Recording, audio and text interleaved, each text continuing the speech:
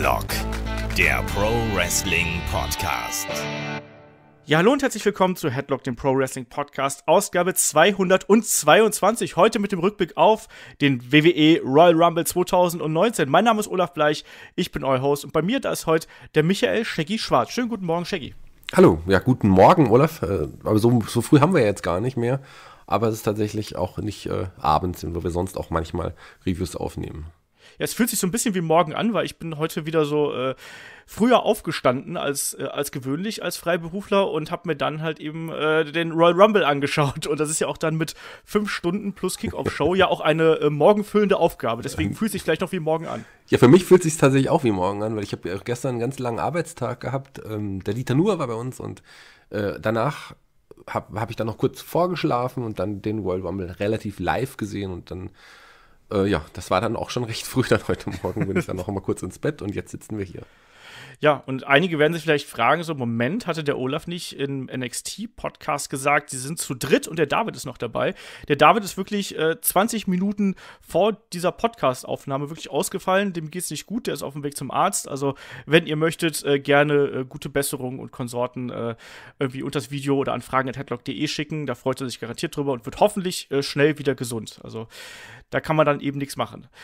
So, Shaggy, da würde ich sagen, äh, legen wir doch einfach los hier mit äh, dem Royal Rumble, weil das war ja auch wirklich ein Event, da sind ja die meisten auch mit einem gewissen Hype reingegangen. Bei dir war es ja nicht anders, oder? Ich war auch gehypt tatsächlich. Die letzten Wochen haben mich sowieso wieder so ein bisschen mehr in Richtung WWE gebracht und äh, auf dem Royal Rumble ist man ja irgendwie immer gehypt, egal wie das Produkt gerade aktuell aussieht. In dem Fall ist das Produkt ja schon ein bisschen besser geworden, kann man auf jeden Fall so sagen. Interessanter, kurzweiliger und äh, ja, interessant und kurzweilig war der Royal Rumble zeitweise auch. Das stimmt, ja, also da, auch da, ne, er ist vielleicht dem Hype nicht 100% gerecht geworden. Ich fand aber trotzdem, dass es so in der Gänze äh, eine, eine gute Show gewesen ist. Vor allem auch angesichts der Länge natürlich, weil ich finde eben auch schon, dass so sieben Stunden Wrestling-Programm sich anschauen, das ist schon viel und dafür, finde ich, hat man da wirklich das meiste noch gut gemacht, sage ich einfach mal so als kleines vorweggenommenes Fazit. Wir starten aber wie immer durch mit der äh, Kickoff-Show und da gab es jetzt zuerst ein Non-Title Tag Team Match zwischen den Champions Bobby Roode und Chad Gable auf der einen Seite und ja, der etwas ungewöhnlichen Kombination aus Rizar und äh, Scott Dawson auf der anderen Seite. Also hier hat man so ein kleines äh, Match noch quasi mit eingebaut. Äh, auf der einen Seite, wie gesagt, die etablierten Tag Team Champions, die machen sich ja eigentlich auch ganz gut. Und auf der anderen Seite eben so ein bisschen das Odd Couple, was so ein bisschen zusammengewürfelt äh, wurde.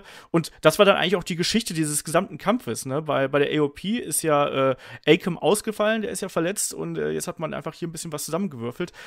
Den Kampf fand ich in sich in Ordnung, das kann man so machen. Ähm, ich mag Root und Gable ehrlich gesagt ganz gerne.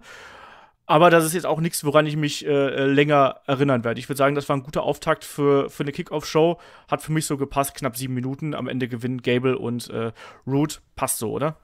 Passt auf jeden Fall so, aber das Odd-Couple, das ein bisschen zusammengewürfelt wirkt, äh, könnte ich, also würde ich tatsächlich auf beide Teams immer noch beziehen, weil so ein bisschen so richtig geklickt hat es bei mir mit, mit den, ja, mit, äh, mit den mit äh, Bobby Roode und, und äh, Jet Gable immer noch nicht so richtig. Aber naja, schauen wir mal, was da noch wird. Ähm, vielleicht zumindest haben sie jetzt schon die, die gleiche Ring, das gleiche Ring-Outfit, von daher ist es schon ein bisschen besser geworden. Aber ist denn Dash Wilder eigentlich verletzt oder, oder auch verletzt? Ähm, oder warum kam das jetzt zu dem, zu dem Match? Also ich meine, es ist ja erklärt wurde, dass Jack Maverick ja sich das Match klar gemacht hat beim McMahon irgendwie.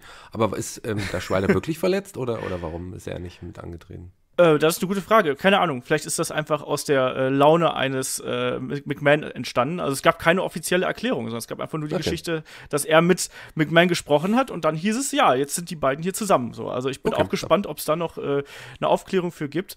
Äh, schauen wir einfach mal. Was ich übrigens an äh, ähm, Root und Gable mag, ist deren Finisher. Also die Neckbreaker-Moonsault-Kombination, die sieht schon gut aus. Also das, äh, das passt schon so für mich. Und ich finde es auch gut, dass ein Chad Gable einfach regelmäßig jetzt eingesetzt wird. Zwar auch wieder im Tag-Team, aber äh, das finde ich nett und damit kann ich leben. Und entsprechend war das hier so als erstes Match für die Kickoff-Show, war das schon in Ordnung.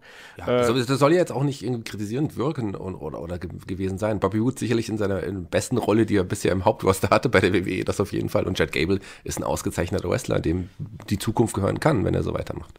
Ja, also ich glaube, wir haben alle nicht geglaubt, dass diese Kombination, als die Storyline losging, so lange halten würde, oder? Nee, das haben wir nicht geglaubt. Ich dachte, das war so eine, so eine Eintagsfliege, aber tatsächlich, also sind sie ja jetzt ein festes Team, aber sie wirken immer noch nicht so ganz hundertprozentig, zumindest bei mir.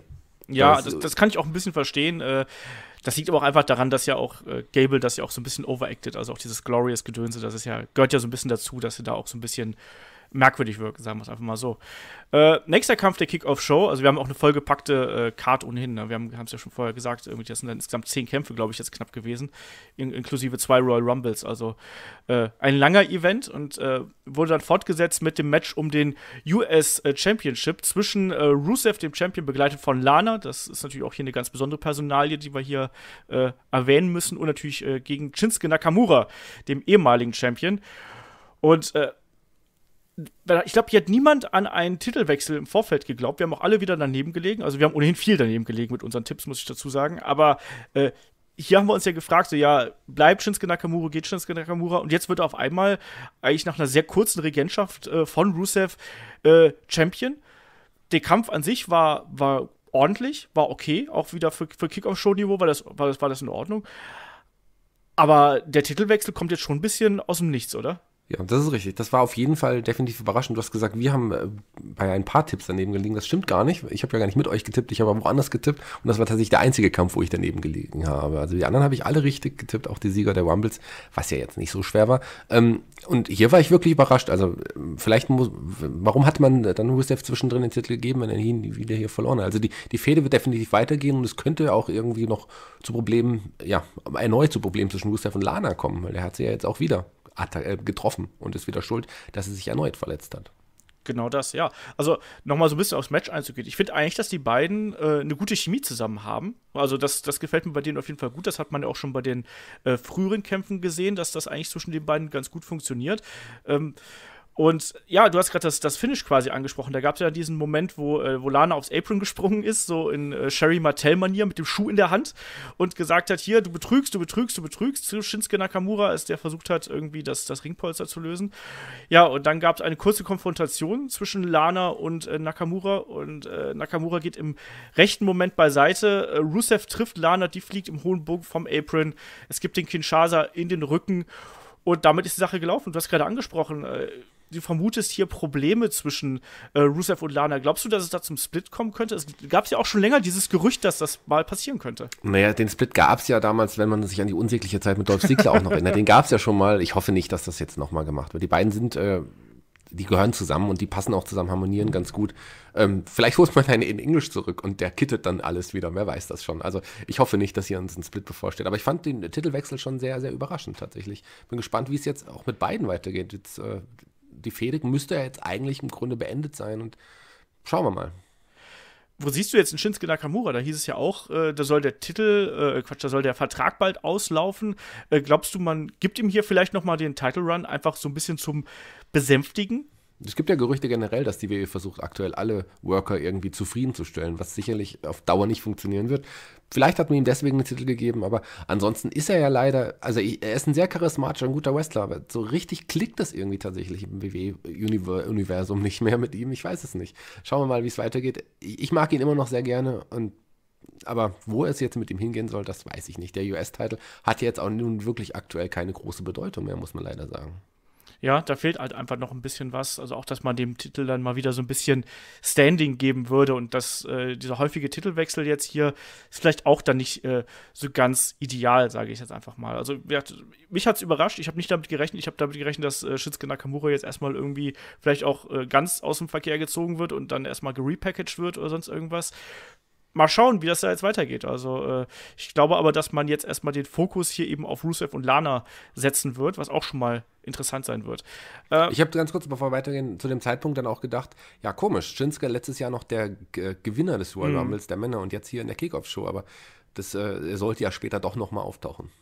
Das stimmt, das stimmt. Er ist ja dann auch noch im äh, Rumble-Match der Männer natürlich noch dabei gewesen. Das muss man ja bei diesem äh, Royal Rumble ja sagen, bei welchem äh, Match das dann wirklich gewesen ist, ob Männer oder Frauen. Das ist ja diesmal wirklich wichtig, weil das war ja, äh, ja, da gab es ja Unregelmäßigkeiten, sagen wir es mal so.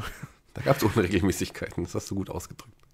So, weiter geht's mit dem äh, Fatal Four Way um die Cruiserweight Championship. Wir haben äh, Kalisto, wir haben Akira Tosawa, wir haben äh, Hideo Itami und natürlich den Champion Buddy Murphy. Und wir haben uns alle äh, eigentlich, glaube ich, viel davon versprochen, weil das sind ja äh, vier durchaus äh, talentierte Leute. Und ich finde, die haben ja auch wirklich einen schönen 12-Minuten-Sprint abgerissen mit vielen spektakulären Aktionen. Und ich muss ganz ehrlich sagen, also wir, wir schwärmen ja sehr viel über Buddy Murphy. Äh, der hat sich hier wieder toll gezeigt. Und ich finde auch, dass ein Hideo Itami langsam so in den Flow kommt, was das angeht. Ne? Also ich weiß nicht, wie siehst du das? Ja, genauso wie du es gesagt hast. Buddy Murphy ist ja, trägt die Division aktuell. Das ist der, das Aushängeschild von Tour 5 Live. Und das auch zu Recht. Guter Mann, ähm, der auch zu Recht den Titel trägt. Und ein Hideo Itami, hier in seinem größten Match bisher im, bei der WWE, muss man so sagen. Ich, bei NXT hat er ja nie wirklich richtig große Matches gehabt und äh, im Hauptroster war er nur bei Tour 5 Live eingesetzt und jetzt hier ja, immerhin noch in der Kickoff-Show zwar nur, aber bei einem Pay-Per-View. Also das ist für ihn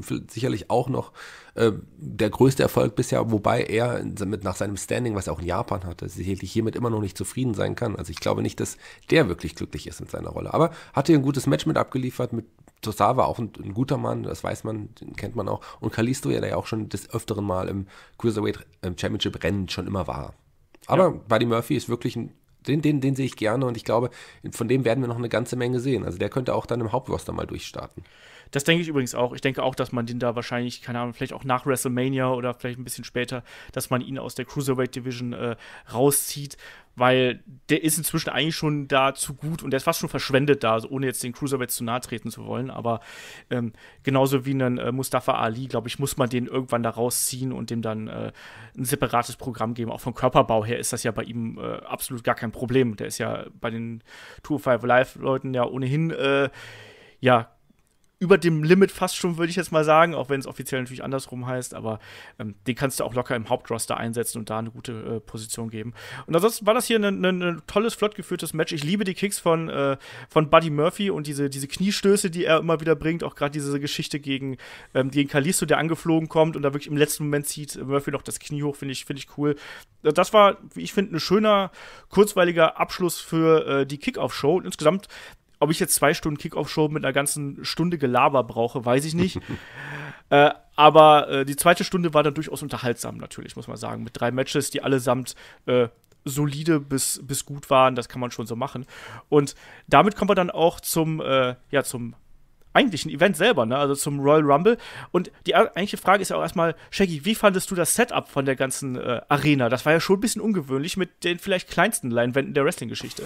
ja gut, früher gab es gar keine Leinwände, von daher. Ja, das ist äh, sehr umstritten tatsächlich. Also ich sag mal so, ich habe eingeschaltet und habe als erstes diesen Entrance-Bereich gesehen und war tatsächlich geflasht. Ich fand es super. Ich finde, das hat richtig zum Royal Rumble gepasst. Mir hat es wirklich gut gefallen. Also ich, ich, das, ich weiß, dass du wahrscheinlich andere Meinung bist, aber ja. ich fand es wirklich, wirklich gut. Das äh, gerade so, dann der Entrance, wenn der, der, die Teilnehmer des Royal Rumbles rauskamen, in so, so einem Entrance, wo sie noch kurz die Treppe hoch mussten. Mir hat das mal gefallen. Das war auf jeden Fall mal was anderes. Äh, kann man so machen, finde ich ich finde, die, äh, diese, diese LED-Wände dahinter waren einfach ein bisschen zu klein. Also, das war also mein Problem. Ich hätte, die sollten hätten wenigstens mannshoch sein müssen und nicht nur so, so Brusthöhe. Also, das, das hat mich so ein bisschen gestört. Das, da kam für mich jetzt nicht so das absolute Pay-Per-View-Gefühl auf, muss ich so ganz klar sagen. Also, irgendwie hat da so ein bisschen was gefehlt. Ich meine, klar, dahinter saßen noch Leute irgendwo, aber weiß nicht, also mich hat das jetzt nicht so äh, atmosphärisch in den Bann gezogen, sagen wir es einfach mal so. Ich, da hat mir irgendwie ein bisschen was gefehlt, da hat mir ein bisschen Prunk gefehlt, was dann eben auch irgendwie äh, dazu gehört. Ich weiß auch, dass, dass David hatte auch schon geschrieben, der hat sich dann den Event ja auch trotzdem äh, irgendwie selbst äh, live angeschaut und er hat ja halt auch geschrieben, er kommt auf die Entrance nicht klar, ne? Hm. Ja, aber wir, wir, ich fand es gut. So stand auch der Teil, jeder einzelne Teilnehmer mehr im Mittelpunkt. Mir hat es tatsächlich gefallen, hat mich so ein bisschen an den World Rumble 2008 was, als John Cena gewonnen hat, so ein bisschen erinnert, weil das ja auch so, so klein war, Madison Square Garden. War das 2008? Den haben wir neulich ja. erst besprochen, genau. Ein bisschen irgendwie. Ähm, das fand ich schon, schon mal was anderes. Kann man so machen. Also sicherlich äh, hat das auch was mit dem Hallensetup zu tun, dass wirklich genau. ja, so viele Leute, äh, also 48.000 waren es offiziell, knapp über 48.000, in die Halle passen mussten und alle auch was sehen sollten. Von daher, ich kann kann, ich kann damit leben. Mir hat es irgendwie gefallen, mal was anderes. Das wird nicht immer so sein, das wissen wir auch, aber mal beim Rumble kann man das bringen, finde ich. Genau, das ist ja, ja glaube ich, eher ein äh, Baseballstadion, wenn ich mich jetzt nicht komplett äh, täusche, also normale Sportarena. Und äh, ich glaube, da musste man dann ein paar Zugeständnisse machen hier an das äh, Chase Field in Phoenix, Arizona wie gesagt, ich, mich hat es jetzt nicht umgehauen, mir hat da ein bisschen was gefehlt. Ähm, du fandest es äh, eine nette Abwechslung. Ich glaube, da gehen einfach die Meinungen auseinander, so ist das dann. Ähm, aber du musst doch mal bedenken, Olaf, das war ja für dich jetzt zum Beispiel, war das ja schon über Kopfhöhe. Ja, aber ich trete ja da nicht auf. Das stimmt. ich habe leider keine Einladung von äh, Vince McMahon bekommen, dass ich äh, Special Entrant im äh, Rumble werden darf. Das wäre eine Überraschung gewesen. Das wäre eine Überraschung gewesen, tatsächlich. Ich sollte ja eigentlich den, den Platz von äh, R-Truth einnehmen und dann hat Nia Jack sich vorgedrängelt, weißt du? Ja, das kann ich verstehen. Aber nehmen wir das jetzt nicht vorweg. Lass uns jetzt zum ersten Match des Abends kommen da bin ich nicht mehr dran vorbeigekommen. So.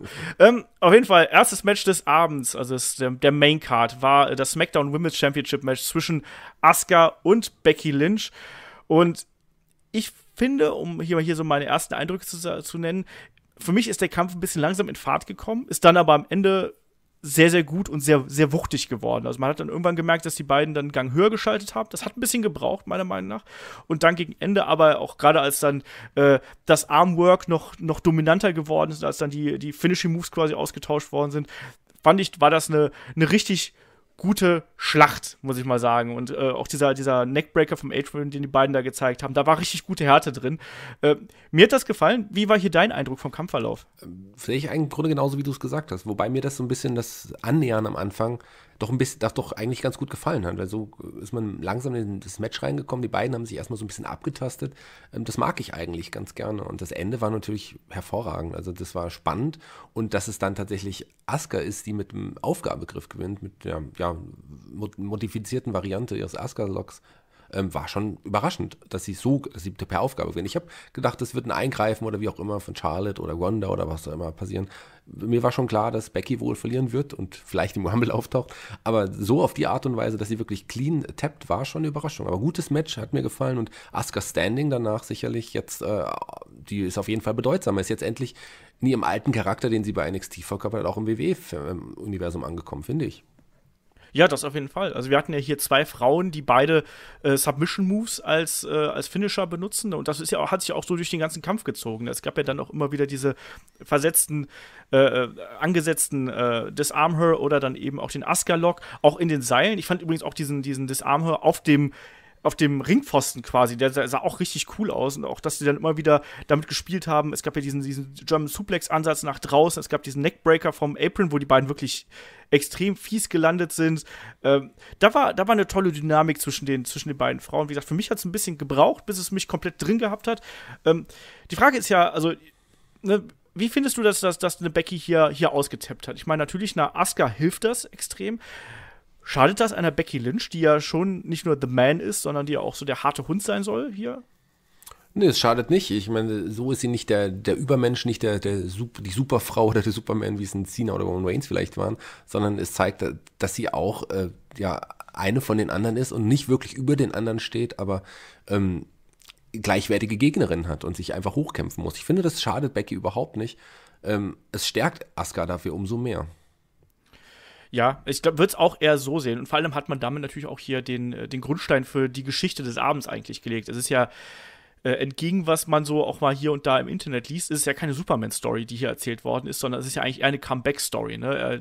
Äh, äh, Becky fällt auf die Schnauze, scheitert und nutzt dann die Chance, die sich dann ergibt, um quasi äh, doch an ihr Ziel zu kommen, mehr oder weniger. Eine Asuka stärkt das.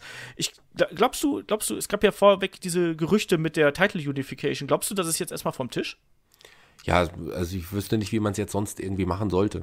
Klar kann das immer noch passieren, aber warum hätte man Asuka jetzt einfach so äh, clean gewinnen lassen sollen, wenn es, wenn es eine Titelvereinigung geben sollte bei WrestleMania? Ich hätte es befürwortet, so eine Titelvereinigung. Ein paar weniger Gürtel würden nicht schaden, jetzt wo auch die Tag Team, Women's Tag Team Gürtel bald irgendwie bei Elimination Chamber ausgekämpft werden. Aber so hat man es jetzt nicht gemacht und so hat man Asuka und auch den äh, SmackDown Women's Titel gestärkt und auf sie wartet sicherlich eine andere Gegnerin bei WrestleMania und das wird auch spannend zu, zu sehen, wer das sein wird. Also es wird nicht zum Rückmatch Becky Lynch gegen Asuka kommen, das glaube ich nicht. Das glaube ich auch nicht. Da bin ich mir auch äh, recht sicher, weil natürlich äh, Ronda und, und äh, Becky haben ja auch noch eine Rechnung offen. Also mal schauen, wie das da weitergeht. Auf jeden Fall hier wirklich eine, eine toll erzählte Geschichte, ein dynamisch geführter Kampf. Jetzt auch nicht immer 100% sauber, aber das haben wir ja häufiger mal. Aber so äh, im Kern war das eine emotionale Geschichte auf jeden Fall, die hier auch super funktioniert hat. Und du hast es angesprochen hier, den modifizierten Asuka-Lock, der hier gezeigt worden ist. Äh, wir haben früher in anderen Podcasts so gesagt, äh, ja, manche Finishing Moves taugen nicht so richtig äh, fürs Fernsehen. Und da haben wir auch die Kettle Mutilation äh, angeführt von Daniel Bryan früher. Äh, der sah ja hier schon ziemlich ähnlich aus. So. Aber für mich hat das gepasst und in dem Moment hat das auch äh, quasi noch mal diesem Ende ein Ausrufezeichen verliehen. Oder wie siehst du das? Ganz genau so, wie du das gesagt hast. Mehr muss ich da nicht hinzufügen. ja, auf jeden Fall mir hat das auch äh, extrem gut gefallen, äh, diese Geschichte. Und da äh, ja, ich war aber überrascht, muss ich sagen. Ich habe damit gerechnet, dass Becky das Ding hier äh, gewinnt und vor Dingen habe ich nicht damit gerechnet, dass sie tappt. Und äh, egal wie, es war ein toller Kampf, den sollte man sich auf jeden Fall anschauen. Äh, der nächste Kampf des Abends war dann das Match um die SmackDown Tag Team Championship zwischen The Bar, den Champions, und äh, The Miz und Shane McMahon. Äh, Shaggy, wie hat dir eigentlich hier im Vorfeld die Geschichte mit McMahon und äh, The Miz gefallen? The Miz jetzt ja dann doch schon eher als klares Babyface unterwegs, auch innerhalb dieses Matches. Wie gefällt dir die Story hier? Na, am Anfang habe ich mich wirklich schwer damit getan. Also ich, ich dachte, das macht man ja auf jeden Fall nur, um auf ein Match mit The Miz gegen Shane McMahon hinzuarbeiten bei WrestleMania. Kann auch immer noch so sein, aber tatsächlich seit einigen Wochen hat es irgendwie Klick gemacht bei mir und ich finde die Geschichte tatsächlich unterhaltsam. Und irgendwie passen die beiden äh, gar nicht zusammen, aber irgendwie dann doch zusammen. Und das finde ich irgendwie, irgendwie ganz nett. Und mich hat auch tatsächlich das Match äh, mehr, mehr, also mehr gefallen, als ich eigentlich ursprünglich dachte. Das war ganz nett, äh, nett zu sehen und die beiden passen schon irgendwie jetzt plötzlich zusammen und das macht Spaß.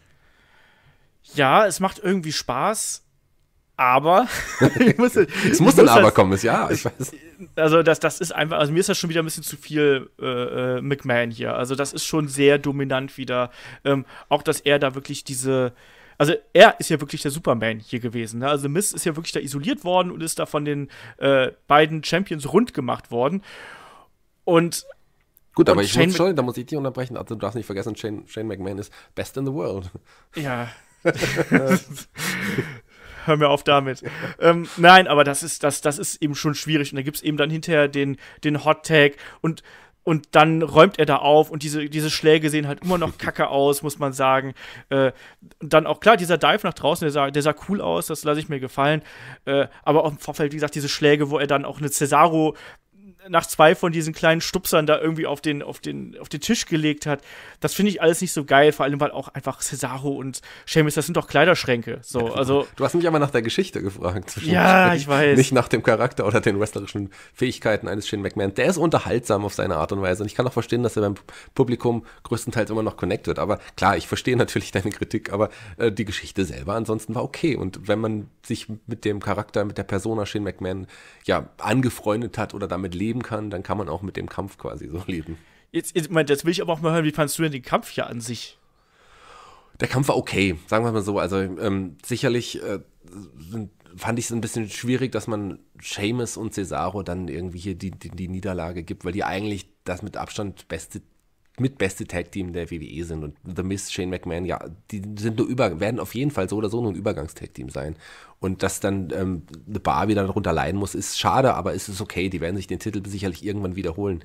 Was mich eher gestört hat, ist tatsächlich das Finish. Also die Shooting Star Press von, von Shane sah gut aus, tatsächlich. Schön angesetzt, aber man hat deutlich in der Kamera ein Bild gesehen, wie Cesaro sich nochmal so richtig hingerückt hat an die richtige Position, weil die, da war wichtig, dass er richtig liegt. Und das sieht man ganz, ganz deutlich. Und das hat mich ein bisschen gestört, weil da wusste ich schon, als Cesaro sich so hinrückt und dann ähm, die Position einnimmt, das wird wahrscheinlich jetzt das Finish sein. Ja, also für mich haben Cesaro und Sheamus hier ganz oft wie die Deppen ausgesehen. Das so generell, also das ganz oft, das, das fing damit an, wo, wo Shane McMahon die beiden da in der in der Ringecke aufstapelt. Ich fand es auch nicht geil, dass quasi den Shane McMahon auch den Cesaro-Swing null zählt. Also der Cesaro schwingt den da acht Minuten irgendwie im Kreis, bis irgendwie, äh, bis er nicht mehr kann. Und zehn Sekunden später steht dann ein, ein, ein äh, Shane McMahon schon wieder auf den Beinen oder beziehungsweise kontert das mit einem furchtbar ausgeführten Triangle-Choke, der auch so ausgesehen hat, als wenn er den vielleicht mal so im Fernsehen gesehen hätte. Aber das war furchtbar. Und, und, und dass dann Cesaro da auch quasi noch antäuschen muss, dass er, dass er, dass er da ohnmächtig wird das fand ich, das fand ich ganz schlimm. Und diese ganze Geschichte dann auch, wie gesagt, mit dem Aufstapeln, damit dieser, damit Shane McMahon seinen Coast to Coast zeigen konnte, sahen beide doof aus. Das Ende sah doof aus, als dann, als dann The Miz auch äh, quasi Cesaro in den Bro-Kick reinge, reingeschubst hat. Ähm, die Shooting Star Press sah schön aus, zweifellos, aber so insgesamt, ah, Na, du, ich tue mich da extrem schwer mit, mit dieser Auseinandersetzung und auch mit dem Finish. Also kannst du da wenigstens meine, meine Wachstumsschmerzen da verstehen? Naja, äh, das habe ich ja eben auch schon gesagt. Also absolut. tatsächlich, äh, man muss halt vom Charakter und von der Person Shane McMahon absehen. Wenn man den so akzeptiert, wie er dargestellt wird, das ist äh, schwierig, das kann ich verstehen. Dann äh, ist es halt ein, ein, typisches Match und von daher, aus seiner Sicht gesehen, war das also, war das vollkommen okay. Aber ich äh, kann auch absolut verstehen, dass du mit dem Charakter Shane McMahon dich nicht aktuell anfreunden kannst. Das ist, war vielleicht mal vor 15 Jahren ganz cool, aber jetzt ist er tatsächlich auch über seiner Zeit. Aber okay, davon abgesehen, irgendwie ist die Geschichte unterhaltsam und darum ging es ja jetzt letzten Endes auch. Ja, die Geschichte an sich war besser als gedacht. Der Kampf war eigentlich genau das Schlimme, was ich befürchtet habe, sage ich dir ganz ehrlich. Es war genau das, was ich, was ich hier in meinen schlimmsten Träumen mir ausgemalt habe. Das war kein katastrophal schlechter Kampf, aber es war eben genau die Shane McMahon Show, die ich erwartet habe. Und da hatte ich eigentlich keinen Bock drauf. Und äh, wie fandest du die Geschichte, dass hier dann äh, ja The Mrs. Vater dann auch noch als äh, weiß ich nicht, Teammitglied ehrenhalber hier äh, auserkoren worden ist und dann mit den beiden zusammen noch feiern durfte. Ja, ich sind bestimmt dann auch mit Vince und, und Miss Vater noch abends noch einen trinken gegangen und haben dann noch äh, den Shano, typischen Shano Max Tanz ge gemacht in der Karaoke-Bar oder was weiß denn ich, es ist mir auch egal. Ich finde, äh, der Miss Vater, der, der ist ja durch, auch durch ähm, Miss, Miss, so Mrs., so heißt die Show, auch ja. ein bisschen mehr wieder ins Rampenlicht gerückt worden. Ähm, witziger Typ und der gehört ja auch irgendwie zur, zur Familie The Miss und zum Charakter von The Miss auch irgendwie. Das, von daher finde ich es vollkommen in Ordnung ich fand das ein bisschen witzig, dass als die drei da äh, gepostet haben und, und der, der Herr Papa hält dann irgendwie den Gürtel hoch, dass, dass Shane ihm erstmal so zeigt, nee, nee, du musst schon die Plaketten nach vorne richten, damit wir ein cooles Bild haben, so und ihm erstmal das umgedreht hat. Ja, ach, wie gesagt, ich brauche einen Shane McMahon da nicht. Innerhalb der Story ist das okay, aber ob die jetzt nochmal die Gürtel haben müssen, weiß ich nicht. Ob man diesen Kampf so bucken muss, finde ich nicht. Hm, schwierig. Ich, vielleicht sollte man Shane McMahon einfach mal erklären, wie man richtig schlägt, dann wäre ich, glaube ich, schon mal ein bisschen versöhnt. So schlägt doch keiner. Das Shane McMahon schlägt so. Ja. Das ist scheiße. Ja, das, ist, das, das tut mir echt in der, in der Seele weh. Naja. Ähm, machst du, machst du nichts dran. Äh, die beiden sind jetzt neue, neue Tag-Team-Champions und äh, werden wir sehen, wie es damit weitergeht. Ich meine, es wird, wir können davon ausgehen, dass äh, in, auf kurz oder lang da der Split kommen wird und dass wir dann eine Fehde mit The Miz gegen äh, Shane McMahon kriegen und dann mal sehen, wie das, wie das da weiterläuft. Aber insgesamt bin ich mit diesem Match jetzt nicht absolut zufrieden, auch nicht komplett traurig, aber auch nicht glücklich. Und wir haben viel zu lange über dieses Match geredet, tatsächlich. Also so, ja, aber man muss, ich muss mich auskotzen. Das ist richtig. Ich habe übrigens nachher noch jemanden, der genauso schlägt, und zwar unser lieber Podcast-Kollege Kai. Der hat genau die gleichen Schläge wie Ja, garantiert. Ich habe es noch nicht gesehen. Muss, muss er mir mal zeigen. So, weiter geht's äh, mit einem deutlich, deutlich, deutlich äh, besseren Match. Erstmal eingeleitet mit wirklich, wie ich auch fand, ein sehr schönes äh, Interview mit Sasha Banks. Also Charlie Caruso hat da äh, Sasha Banks nochmal im Vorfeld gefragt, so, ne, wie sieht's denn aus, hier deine Chancen und so. Fand ich cool. Ich finde, dass Sasha auch in dieser etwas raueren Rolle deutlich besser aufgeht als in der, hey, wir sind Best Buddies äh, Position mit, mit Bailey und so. Äh, auf jeden Fall gibt es danach das Match um die WWE Raw Women's Championship zwischen Champion Ronda Rousey und Sasha Banks. Und bevor ich hier meine, äh, meine Tirade loslasse, äh, Shaggy, wie fandst du den Kampf? Ich fand den Kampf super. Also tatsächlich ähm, mehr als ich erwartet habe. Ähm, Sascha Banks ist ja in den letzten Monaten, wie du gesagt hast, in einer komischen Rolle gewesen. Sie gehört aber eigentlich zu den Top-Frauen im, im WWE-Roster, das kann man ohne Zweifel sagen. Und äh, mit Wanda hat sie ein richtig gutes Match abgeliefert, was total spannend war. Und auch äh, da ist die Geschichte, wie man am Ende dann gesehen hat, auch noch nicht vorbei. Da wird sicherlich noch in der Zukunft irgendwas geben. Sascha Banks hat jetzt wieder mehr Profil gewonnen, das finde ich super. Und eine Wanda Rousey kann, hat wieder gezeigt, dass sie äh, mithalten kann. Und das finde ich, find ich gut. Also für mich, mir hat der Kampf richtig gut gefallen, hat Spaß gemacht und äh, gerne mehr davon. Ja, bin ich auch äh, komplett bei dir. Ich finde, die haben hier eine, eine, großartige Geschichte erzählt. Und ich kann es dir nicht genau sagen, was das ist. Also es ist auch bei Sasha Banks, aber äh, auch vor allem bei Ronda Rousey ist es so, die erzeugen bei mir eine ganz besondere Emotionalität. Ich, ist das bei dir genauso? Ich kann es dir nicht genau erklären, wie das ist, aber wenn, wenn, wenn die irgendwie im Ring stehen, und das hatte ich auch jetzt schon diverse Male bei Ronda Rousey und auch bei Sasha Banks, gerade bei den, bei den großen Matches mit, mit Bailey damals bei NXT oder gegen Charlotte oder so, irgendwas haben die, dass ich da emotional sofort invested bin. Ist das bei, dir genauso? Ja, klicken irgendwie total beim, beim Publikum und auch bei uns. Das ist die schaffen es tatsächlich, ähm, einfach die Spannung in uns mit uns zu übertragen. Das, das ist toll. Also das schafft nicht jeder Wrestler, das schafft nicht jeder Charakter und die beiden sind da auf jeden Fall dabei. Ähm, hier wurde ja am Ende auch noch angedeutet, dass es tatsächlich irgendwann zu den ähm, Horsewomen kommen wird irgendwie. Also Sascha Banks hat ja das, das Zeichen der Horsemen oder Horsewomen gemacht und irgendwann wird es zum Aufeinandertreffen kommen, aber ich befürchte oder hoffe, dass es noch nicht so früh sein wird, weil eine Marina Shafir und eine Jasmine Duke bei weitem noch nicht so weit sind wie alle anderen. Und da wird es nee. noch ein bisschen dauern. Aber ähm, Shayna Baszler, die wird irgendwann ins Hauptroster kommen und na schauen wir mal, wie es da weitergeht. Und wir wissen ja, ja auch noch nicht genau, wie es mit Ronda Rousey weitergeht. Gerüchten zufolge will sie jetzt erstmal eine Pause machen nach WrestleMania. Also warten wir es mal ab. Ja, ähm, das, da äh, müssen wir einfach mal schauen. Aber nochmal, um so ein bisschen auf den Kampf hier einzugehen. Ne? Was ich, ich fand es richtig, richtig toll, einfach auch die Geschichte, die dann wieder erzählt worden ist. Ne? Also auch diese Sache mit, äh, mit, wie Ronda Rousey auch den, den verletzten Arm gerade innerhalb der, der ersten Matchhälfte da äh, verkauft hat. Ne? Und dieser, dieser Schlag an den Ringpfosten, wo dann gleich die LED-Beleuchtung ausgefallen ist, das fand ich schon einen schönen Moment. Auch das fand ich auch gut, wie man dann diese LED-Wand eingesetzt hat. Die Art und Weise, wie dann äh, im späteren Verlauf diese, äh, diese Armverletzung auch äh, verkauft worden ist und wie sich dann eben auch eine, eine Ronda Rousey zurück in das Match ähm, ja, gearbeitet hat, wirklich. Und auch die, immer dieser Blick, weißt du, wenn sie sich da wieder aufgebaut hat. Mir gefällt das, mir gefällt das total gut. Hast du hier, war für dich irgendwann ein Punkt im Kampf, wo du gesagt hast, so ja, Sascha gewinnt hier das Ding doch? Das hat mir leider gefehlt tatsächlich. Also das hätte, hätte, hätte ich nie geglaubt, dass Sascha, klar wurde sie gut dargestellt, aber ich hätte nie gedacht, dass sie in dem Match am Ende siegreich hervorgehen wird. Dazu war es einfach war, sie einfach, war sie einfach nicht gut genug aufgebaut vorher und ähm, die, ja, die Niederlage hat eher gut getan, als, als dass es ihr geschadet hat tatsächlich. Das war das Einzige, was mir dann an Spannung gefehlt hat, dass eigentlich in dem Fall klar war, dass Wanda siegreich hervorgehen wird. Ich muss ehrlich sagen, ich hatte so ein, zwei Momente, wo ich tatsächlich gedacht habe, so ja, vielleicht wird es ja doch was. Und das war zum einen dieser wirklich widerliche äh, Armhebel, den, den Sascha da angesetzt hat, also wo sie wirklich den einen Arm quasi so über über die Schultern gerissen hat und auch wirklich aufs, aufs widerlichste äh, verbogen hat. Ähm, da habe ich mir gedacht, so, okay, jetzt, jetzt, jetzt wird es dann doch noch was. Und als es dann noch ins Bankstatement äh, übergegangen ist, äh, habe ich mir hatte ich schon so, äh, nicht Hoffnung, aber ich habe schon so äh, auf jeden Fall mitgefiebert. Und äh, das waren für mich auch so Momente, wo, wo, man, wo man gemerkt hat, so ja, da, da stimmt A, die Chemie, aber auch eben der Einsatz äh, von beiden. Also mir hat der Kampf hier sehr, sehr gut gefallen. Äh, da, war, da war viel Action drin, da war auch viel Geschichte drin, es war viel Härte drin, das muss man auch mal sagen, was die äh, beiden sich da gegeben haben. Die haben sich da auf jeden Fall nichts geschenkt. Ähm, das Finish kam dann für mich ein bisschen überraschend. Also dieser, äh, dieser Gut Range Powerbomb ist ja quasi da zweimal äh, oder einmal im Vorfeld angedeutet worden. Hast du gedacht, dass äh, eine Ronda Rousey hier per äh, Pinfall gewinnt eigentlich. Nee, ich dachte, das hat mich tatsächlich auch überrascht. Ich dachte, sie wird den Armbar ansetzen und dadurch dann siegreich hervorgehen. Aber so war es okay. Aber dass du dann wirklich zwischenzeitlich gedacht hast, dass Sascha gewinnen könnte, zeigt doch, dass du ein kleiner Nerd bist und dass man dich dann doch ein bisschen worken kann. Das heißt, die haben die Damen alles gut gemacht, haben sie alles richtig gemacht ich fand, das sah eben auch einfach extrem brutal aus, was die beiden da teilweise gemacht haben. Das ist ja auch gerade der Vorteil von ganz, ganz, vielen Damen, dass sie so ein bisschen gelenkiger natürlich sind, weil die ein bisschen weniger Muskelmasse haben. Und das sah auch echt fies aus, oder?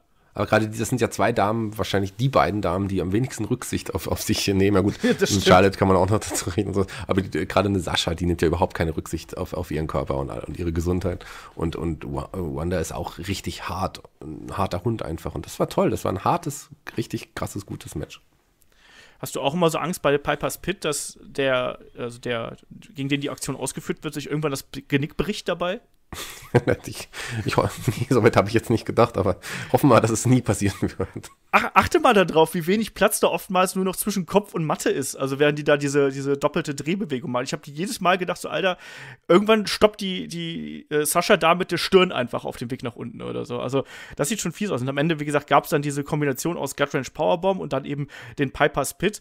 Und dann auch sehr schön, wie ich fand, auch mit, der, mit dieser Brücke in den Pin. Das hat mir auch echt gut gefallen, weil das auch der Sache noch mal so ein bisschen Nachdruck verliehen hat. Und ja, dann war die Sache hier eben gelaufen und du hast es gesagt, es gab dann die ersten Andeutungen. Ne? Die beiden haben sich erstmal die Hand geschüttelt. Übrigens immer schön äh, mit links, ne, weil ja der rechte Arm bearbeitet worden ist. Auch da äh, schönes Detail.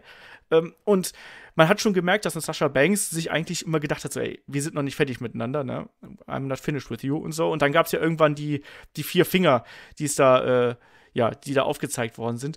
Ich bin auch der Meinung, dass äh, Shafir und Duke noch nicht so weit sind. Trotzdem wäre das schon interessant zu sehen, meiner Meinung nach, oder? Ja, auf jeden Fall. Da warten wir ja schon sehr, sehr lange drauf.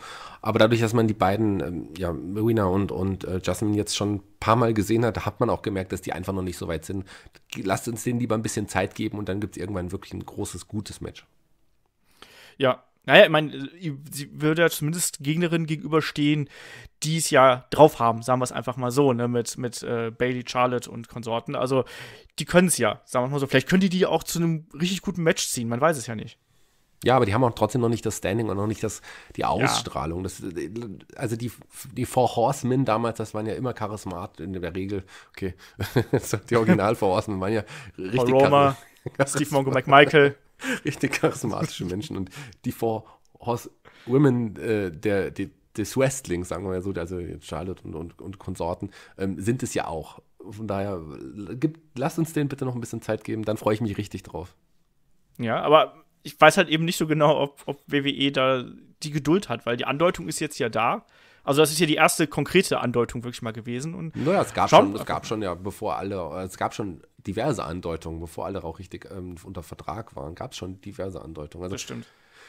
Das wird irgendwann passieren. Ähm, vielleicht ist es ein Main Event bei einer Survivor Series passenderweise. Warten wir es ab. Ja, mal schauen. Also auf jeden Fall, ja, toller Kampf äh, und da auch auf jeden Fall würde ich mich auch über eine Fortsetzung freuen, äh, weil das war äh, richtig gut, was die beiden da abgeliefert haben. So, bis hierhin bin ich echt äh, sehr zufrieden mit dem, mit dem Rumble-Event eigentlich gewesen. Trotzdem äh, des, des Tag-Team-Matches, was mir nicht so gefallen hat, aber äh, beide, äh, beide Damen-Matches haben ja hier gut, gut abgeliefert, muss man sozusagen. Und auch mal da der ganz kleine äh, äh, Wink mit dem Zaunfall. Übrigens haben mehr abgeliefert als das Damen-Match bei NXT Takeover. Ne? Mal so nebenbei.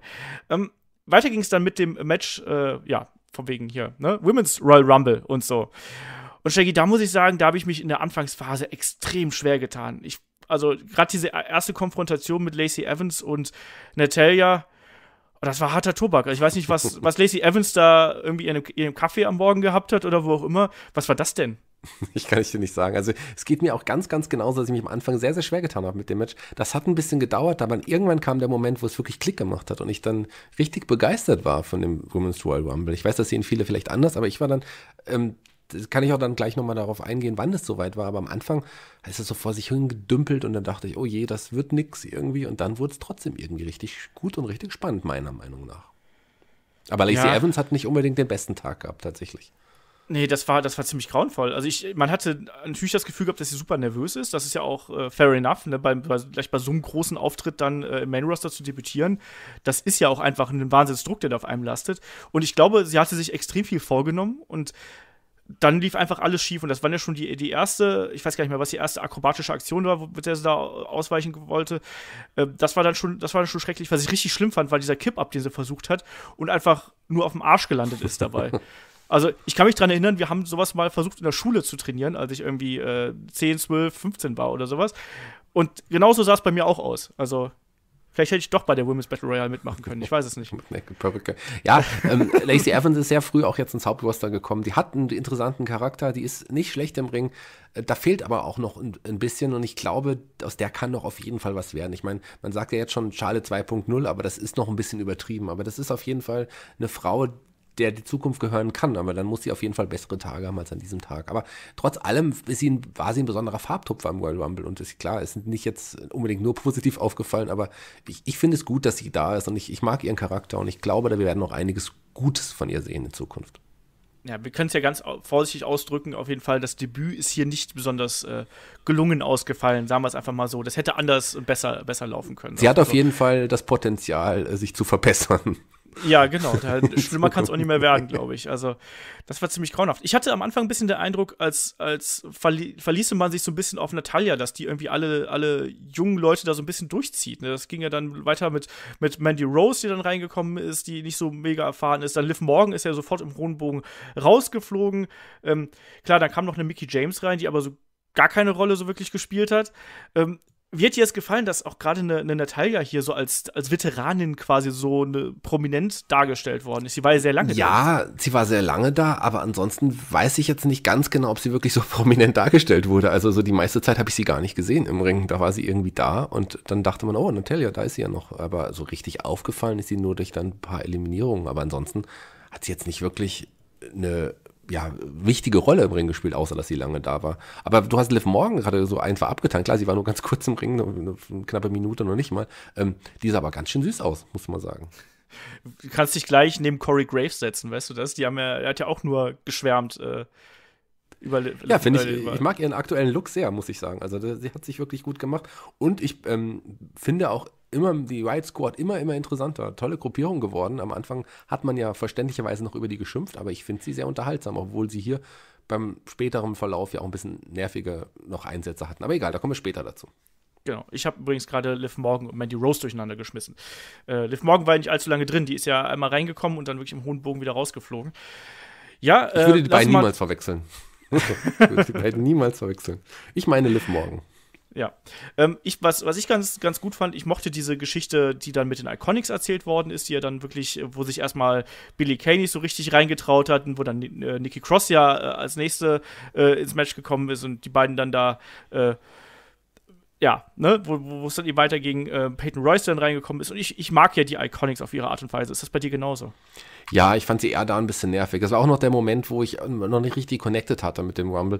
Ähm, erst sagt, erst sagt ja ähm, Peyton Royce, dass sie dann auf ihre, nee, Billy Kay sagt, dass sie auf ihre Partnerin noch irgendwie warten möchte. Genau. Und dann war sie aber plötzlich trotzdem im Ring, nachdem sie zwischendrin noch mal eine Aktion außerhalb des Rings äh, kassiert hatte. Ähm, Habe ich nicht so ganz verstanden. Aber egal, sagen wir mal so, sie kamen dann, äh, waren dann irgendwann doch beide Iconics im Ring und zusammen sind die super, aber so einzeln mh, hm, schwierig im Moment noch. Zumindest mit ich finde die ganz lustig. Ich, Nikki Cross finde ich auch super. Das fand ich aber diesen Eingangsspot fand ich ein bisschen merkwürdig, weil dann auf einmal alle äh, im Ring anwesenden Frauen sich so in eine in eine Ecke gestellt haben, quasi, dass Nikki Cross auch ja draufspringen konnte. Das hat für mich wieder so Ringpsychologie-technisch überhaupt gar keinen Sinn ergeben, aber naja. Ähm, Vielleicht war das ja abgesprochen, Olaf. Möglicherweise. ähm, dass der Tamina nochmal so einen, den, den, den Big Show-Moment gehabt hat und da aufräumen darf, das brauche ich auch nicht, muss ich ganz ehrlich sagen. Nee, das war auch zu dem, also für mich dann zu dem Zeitpunkt das absolute Lowlight tatsächlich beim Rumble. Hat ihn nochmal runtergezogen. Mit Tamina kann ich überhaupt nichts anfangen und dass Tamina auch noch eine Mickey James eliminieren darf, fand ich irgendwie too much. Also Tamina, ähm, ist, glaube ich, wir schimpfen ja alle über Nia Jax, aber für mich ist Tamina die überschätzteste Wrestlerin im gesamten Roster. Sorry. Ja, die ist halt da, weil sie groß ist, so ein bisschen. Ne? Wie hat dir denn das Debüt von äh, Xia Li gefallen, hier der äh, ersten Chinesin in einem Royal Rumble? Ja, ja, war auch ein bisschen unglücklich tatsächlich. Also ich finde, ähm, sie, sie, war da, es war gut, dass sie sich zeigen durfte, sicherlich für den chinesischen Markt. Äh, total interessant. Die chinesischen Kommentatoren, die, ähm, die wir alle so lieben, die haben sicherlich, äh, sind total abgegangen. Aber so für mich hat, sie, hat, hat es nicht richtig funktioniert. Also ein paar Aktionen sind auch daneben gegangen. Ähm, aber sie war sicherlich auch sehr aufgeregt. Also das ist eine Wrestlerin, die sicherlich in der Zukunft noch mehr zeigen kann, aber hier fand ich sie jetzt nicht wirklich überzeugend. So, jetzt musst du mir aber mal sagen, so kleiner, kleiner Tipp am Rande, wann, wann ist denn dein Punkt gekommen, dass du im Match drin gewesen bist? Kam der erst später? Der kam, kam erst sehr spät, aber ich war dann nicht erst okay. in einem Match drin, sondern für mich hat sich das Match dann noch gedreht und ich dachte, eigentlich ist es total cool, weil im Grunde passiert ja eigentlich nicht so viel. Das ist ein bisschen hin und her und die gleichen Charaktere, nicht viele Überraschungen, außer dass ein paar ähm, ja, NXT-Leute, selbst oder Leute andere ähm, kamen. Der Moment, als ich plötzlich, plötzlich richtig äh, geflasht war, war tatsächlich, als ähm, die ehemalige UK Women's Champion, Championess ähm, zum Ring kam.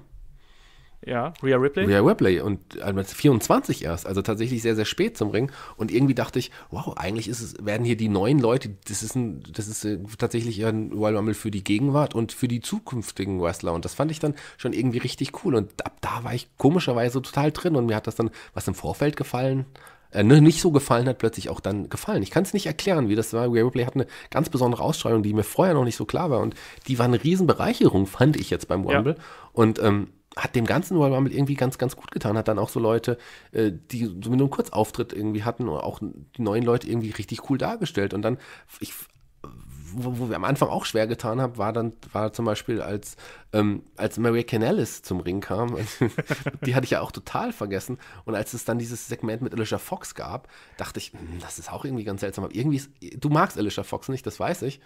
Aber irgendwie finde ich sie unterhaltsam. Ich kann es nicht erklären. Und Candice LeRae war auch dabei, da habe ich mich dann gefreut. Aber das kam halt äh, wirklich erst, als, ähm, als dann später mit Nummer 24, als dann Rhea Ripley zum Ring kam. Ich kann es nicht erklären, ich fand es cool.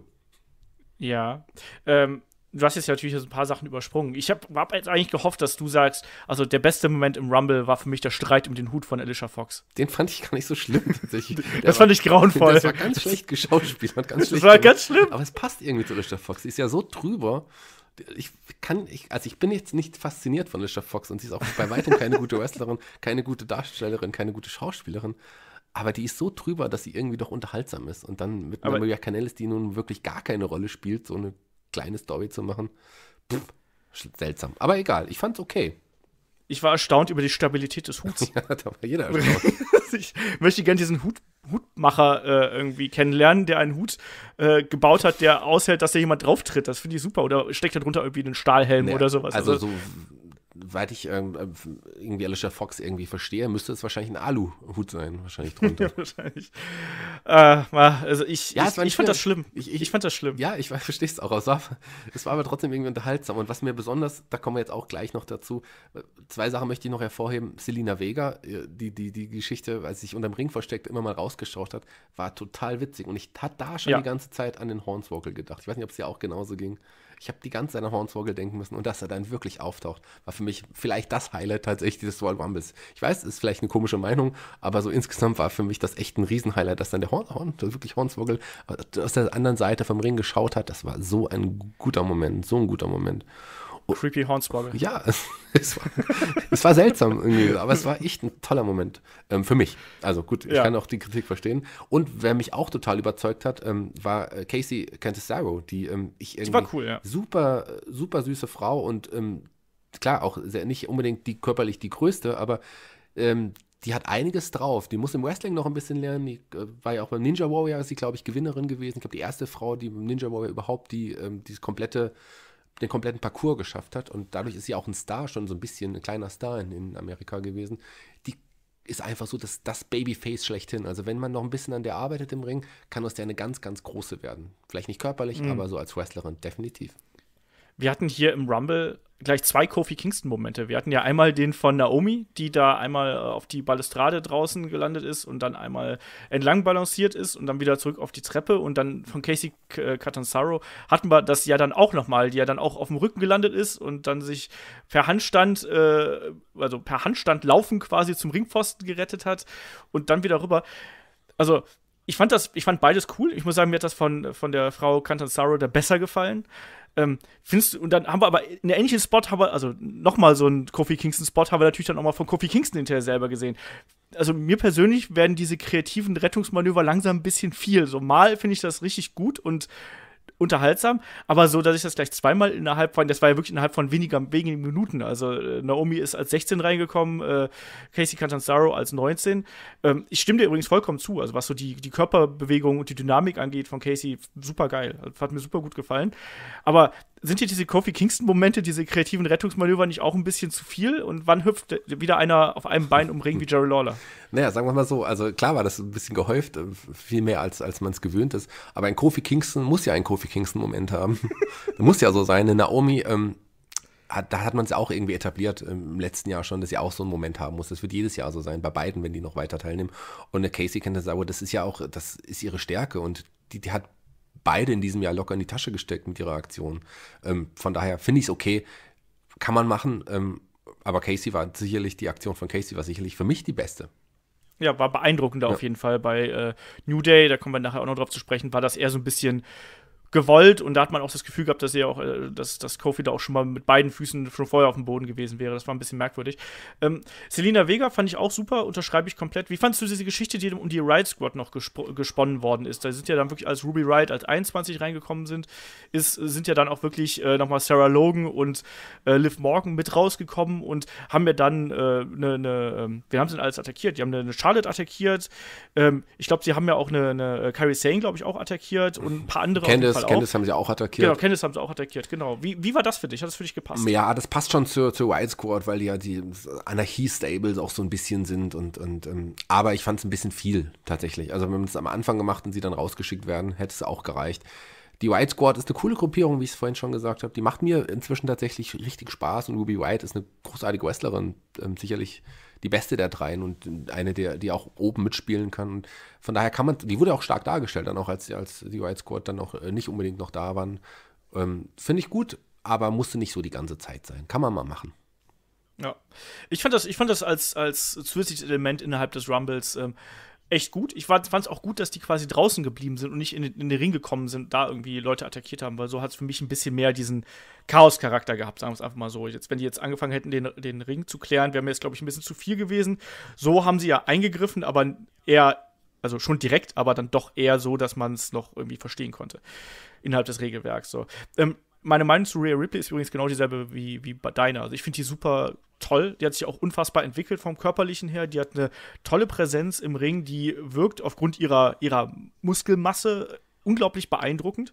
Ähm, ich finde die toll und ich glaube auch, dass die eine, eine sehr, sehr große äh, Rolle hier äh, spielen kann. Und wir haben ja auch noch zwei Japanerinnen gesehen. Ne? Wir haben aber ganz kurz, eine, ganz kurz, bevor du sorry, ja. dass ich unterbreche, ähm, mache ich ungern. Ähm, aber noch kurz zu Rhea Stimmt doch gar nicht.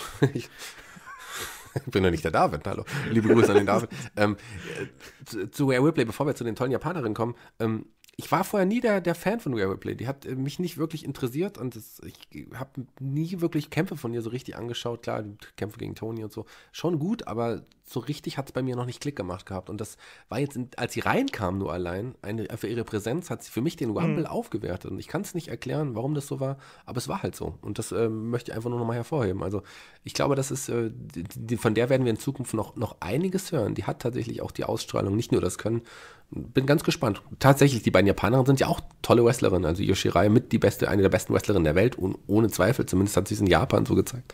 Ähm, die waren aber nicht fachlich zeitgleich im Ring tatsächlich. Kairi Sane, nee, das stimmt. als Kairi Sane zum Ring kam, gab es einen Riesenpop. Also die ist äh, super beliebt. Auch die wird, kommt beim WWE Universum super gut an.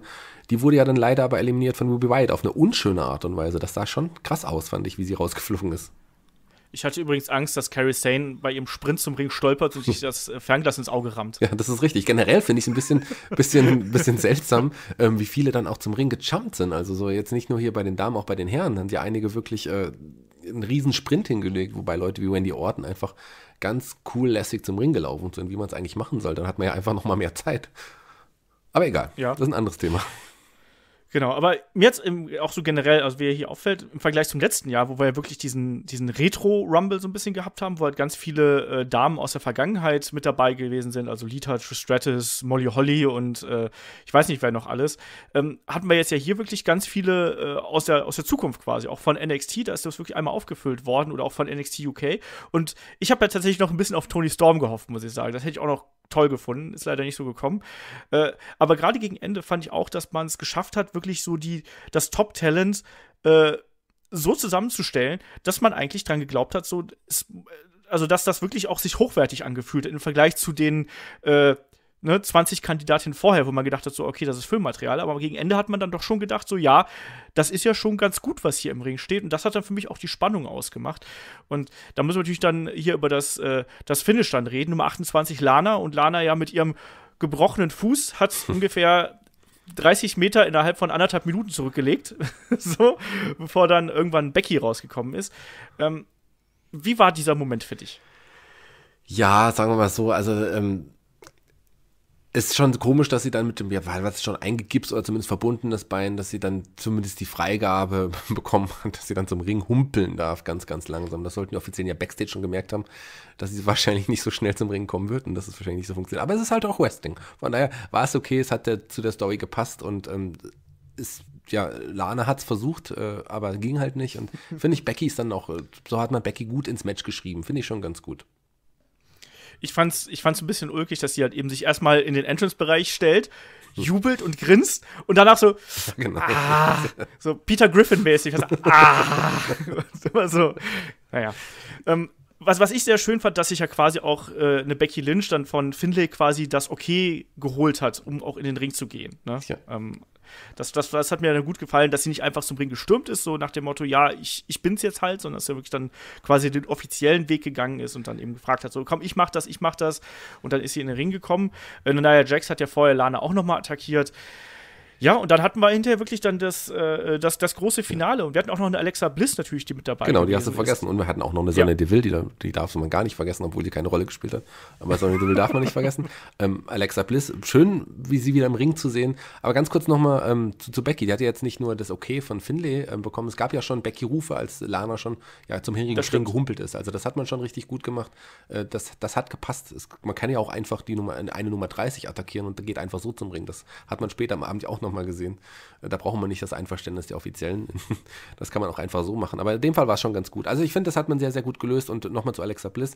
Äh, toll, sie wiederzusehen. Ähm, schön, dass sie wieder da ist. Und ich glaube, sie wird jetzt auch wieder eine größere Rolle im Ring spielen, weil sie es einfach darauf hat. Ja, ähm, das, äh, das denke ich auch.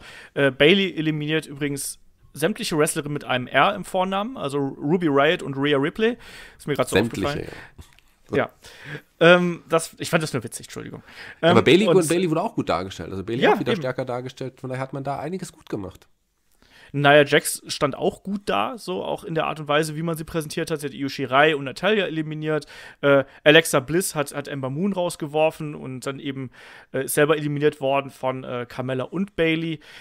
Charlotte wiederum hat eine Carmella rausgeschmissen. Ich fand auch, Carmella sah auch gut aus, so in der Art und Weise, wie man sie da äh, präsentiert hat. Das, das war für mich okay, auch als Nummer 30. Klar war das jetzt dann nicht der Paukenschlag Nummer 30, aber das war ja Bailey und das war wirklich, äh, Bailey, war ja Becky.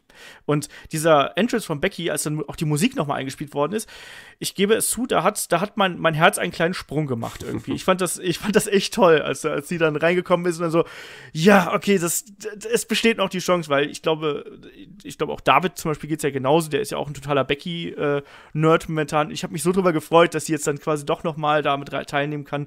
Und für mich stand es dann eigentlich auch fest, dass, äh, dass sie das Ding gewinnen wird. Und ja, die finalen drei war dann auch schon, äh, wie wir, glaube ich, auch hier schon im, im, im Podcast so ein bisschen vermutet hatten, äh, waren dann Becky Lynch, Charlotte und äh, Nia Jax. Äh, und ich fand das Finale, fand ich dann auch wirklich gelungen, muss ich, muss ich ganz ehrlich sagen. Also, äh, das, das, hat- das hat mir Spaß gemacht und äh, ja, wie fandest du diese Verletzungsgeschichte, die dann zum Ende noch aufgekommen ist? Also, als dann Becky ja äh, Naya attackiert hat und dann eben außen an der Treppe quasi nochmal entlang gehen wollte und Naya schubst sie dann runter und dann hat auch Becky plötzlich ein Auerweh. Ähm, finde ich gut, finde ich richtig gut gelöst und Becky hat das auch super gut verkauft. Hat das Match dann nochmal spannender gemacht, fand ich am Ende. Ähm, also die, Verka die Verletzung auf jeden Fall sehr, sehr gut verkauft. Besser als es eine Seth Rollins irgendwie so generell immer macht. Entschuldigung. Ähm, hat, sie, hat sie richtig gut gemacht. Aber ich möchte gerne noch eine andere Person erwähnen, die wir noch gar nicht erwähnt haben, die aber auch eine gute Rolle im Rumble gespielt hat und bei der man auch gezeigt hat, dass ihr auch äh, Teile der Zukunft gehören. Zur Ember Moon. Die hat auch eine gute Rolle gespielt, fand ich. Das stimmt. So, also muss man auf jeden Fall nochmal erwähnen, gut dargestellt. Ähm, das Finale war, ja, ich man kann von Naya halten, was man will. Ähm, das Publikum hasst sie. So, da gibt es diverse Gründe und das ist, äh, die He- Heel-Rolle füllt sie halt irgendwie aus. Ich mag sie auch überhaupt nicht. Ich mag sie auch eigentlich gar nicht gerne sehen, weil sie wirklich gefährlich workt teilweise. Auch hier einige Aktionen, ähm, die, die Eliminierung, ähm, die Eliminierung von, wen hat, was war denn ganz, ich glaube, Io Shirai ist äh, auch unsanft gelandet, Natalia-Eliminierung war auch nicht so äh, astrein, also da können, aber es ist halt auch eine Nia Jax so, von daher ähm, schwierig, schwieriger Charakter, aber die WWE sieht in ihren in Heel-Persona und die verkörpert sie richtig gut, muss man so auch sagen, also man, wenn sie jetzt nicht die Beste im Ring ist, aber das Publikum hasst sie. Ich glaube, niemand ist so verhasst im Moment aktuell wie Nia Jax im WWE-Universum. Ja, das, das ist es halt eben. Und ich, klar, ich, ich finde generell, dass so, dass so, da waren viele Eliminierungen quer durch die Bank dabei, äh, wo man sich gedacht hat, so, oh, haben sie sich da was getan, weil die einfach ein bisschen merkwürdig gefallen sind. Das ist ja generell das Risiko von so Battle Royals, dass das manchmal auch ein bisschen heißer hergeht und man sich da denkt, oh je, hoffentlich äh, kommen sie da in einem Stück wieder unten an. Also ich muss mit, ich denke da nur an die, kannst du dich noch an die Eliminierung von, von ich glaube, das war Snitsky und Paul London damals erinnern oder, oder äh, Takemi Shinoku damals. Takami Shinoku, ja, klar. Das, das ist ein Rumble, den ich oft gesehen habe. Ähm, aber Takami Shinoku wurde an dem Arm mehrmals eliminiert. Der ist da wirklich unsanft gelandet, hat sich auch schwer verletzt. Ähm, Ja. Tatsächlich. Aber dieses Paul London jetzt gar, nicht- tatsächlich gar nicht mehr so. Schau's dir mal an, das ist eine, ich meine, das ist eine Lariat von, ich glaube, ich meine, es war Snitsky und dann Paul London schlägt dann quasi einen Rückwärtssalto und fliegt aus dem Ring raus. Also, äh, das ist schon, das ist auch schön. Aber generell, äh, man unterschätzt das, glaube ich, auch so als Außenstehender, wie gefährlich auch so eine Battle Royale ist, weil ja, man fällt ja nur übers oberste Seil, ne? aber es ist schon ziemlich tief. So. Naja, sei es drum. Ich fand das Finish auch äh, äh, richtig gut. Ich fand diesen Sturz, ich hätte diese Verletzungsgeschichte am Ende nicht gebraucht, muss ich sagen. Äh, es hat aber vor allem auch nochmal Charlotte natürlich so ein bisschen äh, ruchloser und noch böser dastehen lassen, als äh, es ohnehin schon der Fall gewesen ist. Auch, dass sie dann da so gnadenlos gegen vorgegangen ist. Das hat dann, das hat für mich gepasst. Und dann auch das, das Finish, wo sie dann, äh, wo es dann wirklich das, das Ziehen und Drängen quasi äh, zwischen den beiden da auf dem Apron gegeben hat. Das fand ich das fand ich toll und ich war auch sehr froh, als Becky dann äh, gewonnen hatte. Und das hat tatsächlich so den Rumble für mich dann doch noch insgesamt versöhnlich abgeschlossen, weil so die erste Hälfte fand ich echt nicht gut, die zweite Hälfte fand ich stark. Ja, ähm, ich fand das Finale auch super tatsächlich und, und Charlotte, Charlottes Blick allein irgendwie, also die äh, überzeugt mich jetzt wieder richtig in ihrer neuen Rolle und eigentlich ähm, hätte ich, also irgendwie würde ich mich jetzt doch freuen. Ich weiß, ich stehe ja vielleicht auf, äh, ja, ziemlich alleine da, aber ich würde doch gern vielleicht ein Freebie sehen vom WrestleMania Main Event, Ronda, Becky und, und Charlotte. Irgendwie würde die Geschichte schon passen. Also ich weiß es nicht genau. Eigentlich hätte ich mich auf das Single-Match gefreut, aber warum nicht? Die ist auch eine, verkörpert ihren Charakter aktuell sehr, sehr gut. Ja, ja, ja, es ist äh, schwierig. Ich bin gespannt. Also ich, ich hätte auch nichts gegen eine Three-Way, muss ich ganz ehrlich sagen. Das ist ja auch mein, mein Tipp gewesen äh, für äh, WrestleMania. Ich kann aber auch mal Einzelmatch leben. Ich glaube, so oder so kriegen wir da äh, ein tolles Match geboten und einfach mal sehen, wie das jetzt weitergeht. Ich meine, wir haben noch den Elimination Chamber vor der Tür. Da, auch da kann sich ja noch einiges entwickeln. Ne? Das ist ja. also noch nicht ausgeschlossen. Genau, da kann auch einiges auf jeden Fall passieren. Ich möchte aber noch mal daran erinnern, dass ich schon vor fast über einem Jahr gesagt habe, dass die, die WrestleMania 35 von Frauen headlined wird. Von Wanda und von Charlotte. Von Charlotte, ja. Genau. Gut, aber ja, zumindest habe ich dann zwei Drittel vielleicht recht. Schauen wir mal. Oder vielleicht sogar noch mehr. Drei Viertel. Warten wir, warten wir es ab. Ja, schauen wir mal. Aber ansonsten, äh, ich sag mal, das war ein ordentlicher Damen-Rumble. Ich, wie gesagt, wie, wie, wie würdest du den hier einsortieren? Ich fand den super. Also, der gehört auf jeden Fall zu den Top 2 der Damen-Rumbles ever. Kann man schon mal so sagen. Ist schwer einzuordnen. Weil, wie gesagt, ich war am Anfang auch überhaupt nicht drin und dann plötzlich hat es Klick gemacht. Und äh, vielleicht sehe ich den euphorischer, als er denn letzten Endes war. So, ich habe ihn jetzt auch nur einmal gesehen bisher. Ähm, mir hat es richtig gut gefallen. Mir hat es wirklich verdammt gut gefallen und äh, richtige Siegerin, obwohl das auch irgendwie vorhersehbar war. Aber trotz allem hat es gepasst. Ähm, einige Wrestlerinnen wurden sehr, sehr gut dargestellt. Man hat gesehen, brauchen uns für die Zukunft keine Angst zu machen. Da kommt einiges nach, was sehr, sehr viel Talent hat. Die Damendivision ist, wird immer stärker. Irgendwann überholen sie die Männer. Also sind auf einem guten Weg tatsächlich. Ja, also ich sehe es, glaube ich, nicht ganz so euphorisch. Ich fand, den, ich fand den Rumble ganz in Ordnung, weil für mich, dass es ein richtig guter Rumble ist, dann musste doch schon über die gesamte Zeit überzeugen. Und da war für mich gerade in der, in der ersten Hälfte viel zu viel Gerumpel und äh, auch teilweise sehr, sehr unsaubere Aktionen drin. Sie gab es auch noch später, aber da ist es dann so ein bisschen in den Geschichten und in den Charakteren untergegangen. Deswegen bin ich, glaube ich, da ein bisschen äh, negativer als du. Aber ich habe mich trotzdem über weite Strecken gut unterhalten gefühlt. Und das ist ja das, das Wichtigste an der Sache. Aber ich, es gab auf jeden Fall auch genug Grund zu Kritik, um es mal so äh, ganz vorsichtig auszudrücken. Das, da streite ich ja auch gar nicht. Mir hat ja am Anfang auch noch nicht gut gefallen. Ja, ja. Erst im Nachhinein hat mir. Ich kann es nicht erklären. Also, äh, wie gesagt, vielleicht soll ich es mir nochmal anschauen. Dann habe ich vielleicht ein bisschen nicht ganz die euphorische Meinung, die ich jetzt gerade aktuell habe. Aber gut war der trotzdem. Ja, kann man so sehen. Äh, weiter geht's mit dem äh, Match um die WWE Championship zwischen Champion Daniel Bryan und AJ Styles. Ähm, da haben wir uns im Vorfeld extrem, extrem viel von erwartet. Also wieder einen richtig technischen Leckerbissen. Den haben wir auch teilweise gekriegt. Also auch wieder ein hart geführtes Match zwischen den beiden. Äh, aber ich kann es dir nicht sagen, ich fand den Kampf nicht so besonders. Ich war wieder was bei dir.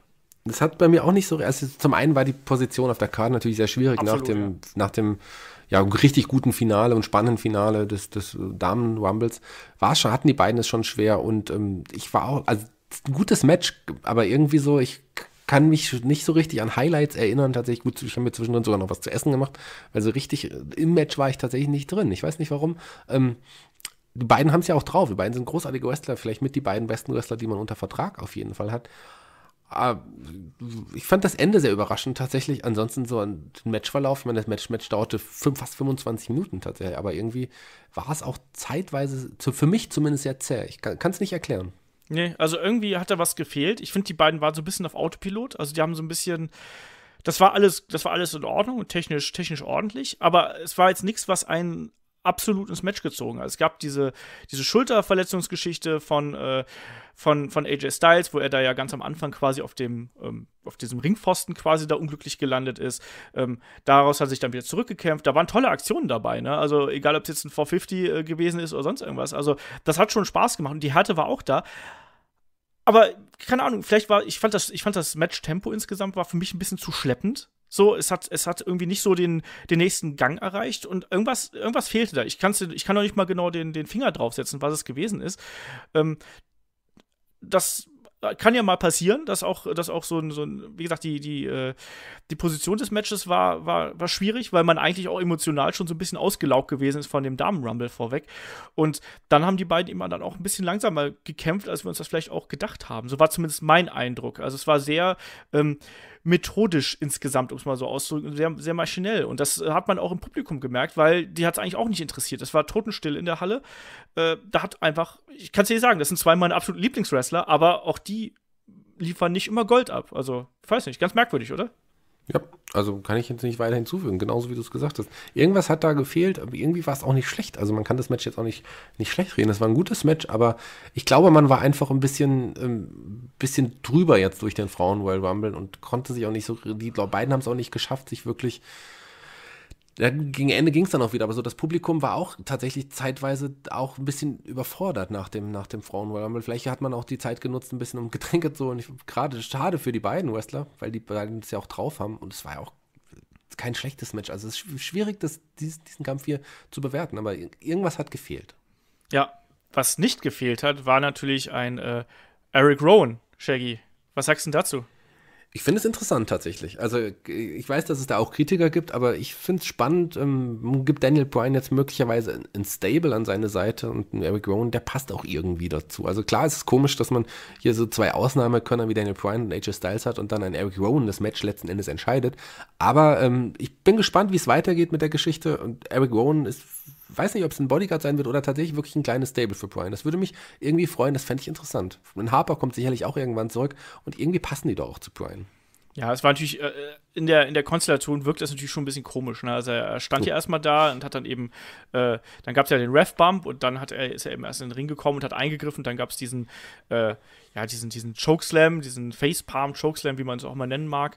Ähm, ja, und dann war der, war der Kampf eigentlich vorbei.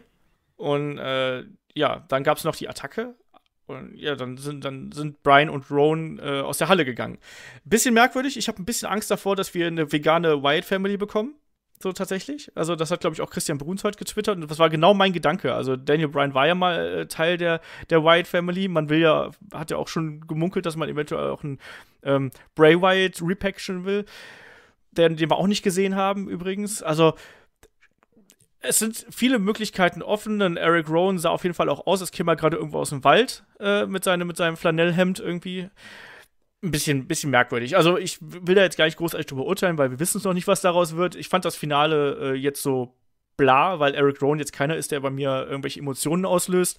Ähm, und insofern Cliffhanger, leider ein enttäuschendes Match. Und das war's. Hey, wir haben ein Match Brian gegen AJ Styles. Ich habe eine gute Idee, lass uns Eric Rowan eingreifen. gut. Ja, aber ich finde es, ich, eine vegane White Family, ich meine, ein Bruns ist selber ein ungesund ernährender Vegetarier, von daher muss man da nicht so viel zu sagen. Ähm, ich finde es spannend, sagen wir es mal so. Also da kann schon einiges passieren. Rowan hat auch irgendwie eine, eine Ausstrahlung, die weiß ich nicht, ob der jetzt eine super Ausstrahlung hat, aber irgendwas hat der, aber der hat was Eigenes. Das finde ich schon mal was Besonderes. Und warum nicht? Lass uns einfach mal abwarten. Klar, es ist komisch, dass ein Rowan das ein Match entscheidet zwischen Ausnahmekönnern wie Styles und Brian, wie ich eben schon gesagt habe. Aber vielleicht erwartet uns ja eine interessante Geschichte. Also hier würde ich erstmal abwarten, bevor ich das jetzt kritisieren möchte. Ja. Ich meine, die große Herausforderung, lieber Shaggy, wird es jetzt natürlich sein, uns das alles zu verkaufen, oder? Oh, lieber Olaf, du hast gesagt verkaufen. Was können wir denn verkaufen? Eric Rowan war ja quasi eine Art Unterstützung. Genau. Für, für Daniel Bryan. Wie könnt ihr euch uns, der, ihr, ihr, Moment, ihr uns den denn unterstützen, lieber Olaf, lieber Hörer? Genau, lieber Shaggy, ihr könnt uns genauso unterstützen, wie das Eric Rowan bei Daniel Bryan gemacht hat. Geht dazu einfach auf patreon.com slash headlock.de oder steadyhq.com slash headlock.de. Dort gibt es über 110 exklusive Podcasts für Supporter. Mit 5 Euro, 5 Dollar seid ihr dabei. Und das war das Werbebreak. Klingt aber auch ein bisschen so, als hättest du es schlecht auswendig gelernt oder schlecht abgelesen. Das kann nicht jeder so gut schauspielen, wie ich das getan habe. Aber egal. Lass richtig. uns weitermachen. Uns, also, es, ist, es ist an uns herangetragen worden, dass wir es etwas kreativer auslegen sollen. Deswegen haben wir es jetzt mal so probiert. Äh, schauen wir einfach mal. Also, äh, weiter geht's auf jeden Fall mit dem Match um den WWE Universal Championship. Genau. Shaggy. Und ich muss noch ganz kurz dazu sagen, kann halt auch nicht jeder von uns beiden es kreativer auslegen. aber egal. Ähm, ja, auch das Match war ähm, mehr oder weniger kreativ, weil es jetzt kein typisches Brock Lesnar-Match für mich war. In, in dem Sinne, Brock Lesnar gegen Finn Balor stand an um den Universal-Titel. Ähm, nicht so ein langes Match, aber ich fand tatsächlich ein interessantes, unterhaltsames Match. Mal anders als die normalen Brock Lesnar-Matches gegen Ganz kleinere Gegner. Ganz genau. Das, äh, wir haben ja im Vorfeld, im, im Preview-Podcast, hatten wir ja so ein bisschen äh, gemutmaßt, ob das wieder so ein typisches, äh, also ich, ich, fand ja, dass das Daniel Bryan-Match und auch das AJ Styles-Match, das lief ja nach einem, nach einem ähnlichen Schema ab. Die waren ja sehr ähnlich. Brock Lesnar dominiert, irgendwann bekommt der kleinere Mann die Oberhand, kämpft zurück und am Ende gibt es äh, wahlweise 1, 2, 3 F5s und dann ist der Kampf vorbei. Hier hat man ja einen ganz anderen Ansatz gewählt, nämlich dass auch wirklich ein Finn Bella ja sofort von, von Anfang an quasi all in gegangen ist Zwinker, Zwinker. Ähm, und auch dann sofort mit einem Double Dropkick attackiert hat. Ähm, unheimlich schnell äh, äh, angegriffen hat, sei es jetzt durch irgendwie diesen Double Stomp übers Top Rope in den Rücken oder diverse Kicks und sowas und dass ein Brock Lesnar wirklich Probleme gehabt hat mit der Geschwindigkeit von Finn Balor und du hast es gesagt, der Kampf war nicht besonders lang, der war nur äh, 8 Minuten 35, äh, wie ich jetzt hier lese. Äh, der hat aber für mich auch total gut funktioniert. Das war das war äh, absolut in Ordnung. Es war eine andere Matchart, wie man das jetzt sonst von, von Brock Lesnar gegen kleinere Leute gesehen hat ich habe mich da auch gut unterhalten gefühlt. Also das Problem war natürlich hier, also ich habe auch, obwohl da ein, ein Finn Bella äh, oft dicht dran gewesen ist mit, am, am Sieg, ich habe da nie dran geglaubt, du? Nee, ich habe da auch nicht dran geglaubt. Also so, so definitiv nicht. Ähm, aber trotz allem stand Finn sehr, sehr gut da und ich glaube, sein Push geht auch noch weiter. Er war jetzt es war zu früh für ihn, aber ich glaube, an Finn Baylor, den hat man, da hat man mittlerweile begriffen, dass man dem doch wieder mehr machen kann. Der wird sich sicherlich irgendwann nochmal den Universal-Titel, falls es da noch geben sollte, holen. Ähm, das hat er sich verdient. Ein guter Mann, ähm, gutes Match auch, eines auch der besseren Brock Lesnar-Matches wieder, weil es auch äh, Brock Lesnar so, so viel eingesteckt hat und ähm, das gegen den kleineren Finn Baylor. Also der, die standen kurzzeitig gleichwertig da, wo man immer auch wusste, dass am Ende Brock sicherlich siegreich hervorgehen wird. Ich habe äh, tatsächlich ja jetzt heute Morgen mal kurz Zeit gehabt, mal in den Foren mich umzuhören, um zu schauen, was ich ja sonst normalerweise auch nicht mache, in den Wrestling-Foren. Ähm, da stand, da hat jemand geschrieben, Mist, wenn jetzt Finn Balor als Demon gekommen wäre, hätte er ganz bestimmt gewonnen. Möglicherweise wird man den Demon ja irgendwann wieder auspacken. Garantiert, da gehe ich mal ganz, ganz fest von aus. Hier wie gesagt, hat, hat, man schon im Vorfeld ja gesagt, irgendwie, das wird keinen Demon geben. Es gab trotzdem am Ende natürlich den äh, Coup de Grace am Ende, äh, wo dann auch ein Brock Lesnar ausgekickt ist und dann auch, das fand ich übrigens eine ganz coole Art und Weise. Also er hat dann quasi so, wie man es ja früher auch schon, glaube ich, in, in den Matches gegen Triple H, glaube ich, gesehen hat, er ist dann quasi aus dem Pinfall sofort in die Kimura übergegangen und das finde ich wiederum auch eigentlich clever, weil natürlich, wenn ein so großer Mann wie den Lesnar so eine Aktion bei einem kleineren Gegner wie einem Finn Balor ansetzt, dann äh, hat er eben keine Chance. Das fand ich absolut in Ordnung, auch ohne Vorbereitung und ohne Armwork im Vorfeld. Kann ich damit absolut leben. Wie deutest du hier die, äh, die Attacke, die es nach dem Match gegeben hat? Da gab es ja noch mal irgendwie drei German Suplexes und eine F5 von äh, Lesnar gegen Balor. Ich glaube nicht, dass es zum Rückmatch kommen wird. Das war einfach nochmal, um den Gegner nochmal abzufertigen. Ähm, und weil er auch den F5 jetzt nicht im Kampf gezeigt hat, was ja auch untypisch ist. Ja, sonst die letzten Matches immer mit dem F5 eigentlich gewonnen hat, ein Brock Lesnar. Ähm, man wollte einfach nochmal zeigen, dass es dass vielleicht das Brock irgendwie gemerkt hat, hier, das war doch ein guter Gegner, den mache ich jetzt aber trotzdem irgendwie fertig. Weil, oder man baut irgendwann nochmal einen Kampf in, äh, dann aber in mehreren Monaten auf. Also ich glaube nicht, dass die beiden jetzt in nächster Zeit nochmal gegeneinander antreten werden. Ich glaube auch, das geht, also meine Theorie geht auch eher so in das, was du äh, zuerst gesagt hast. Äh, das war sozusagen eine Respektsbekundung von Brock gegen Finn Balor auf die brock auf seine, auf seine Art genau. und Weise, ja.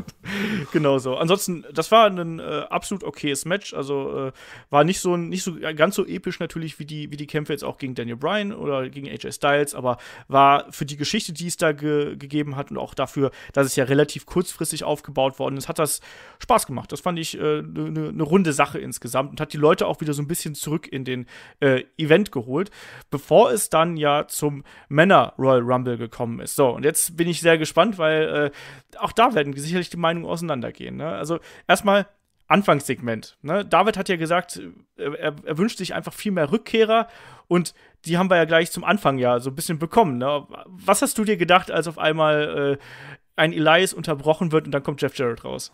J-E-F-F, J-A-R-R-E-T, Double J, Jeff Jarrett. Ja, ich habe mich ja gefreut. Also ich meine, Jarrett äh, ordentlich gealtert auch so Vergleich äh, zu also der Zeiten, als er das letzte Mal dieses Outfit gedrungen, gedrungen hat, getragen hat, sorry. Das ist ja tatsächlich sein Double J-Outfit aus der WWE-Zeit noch.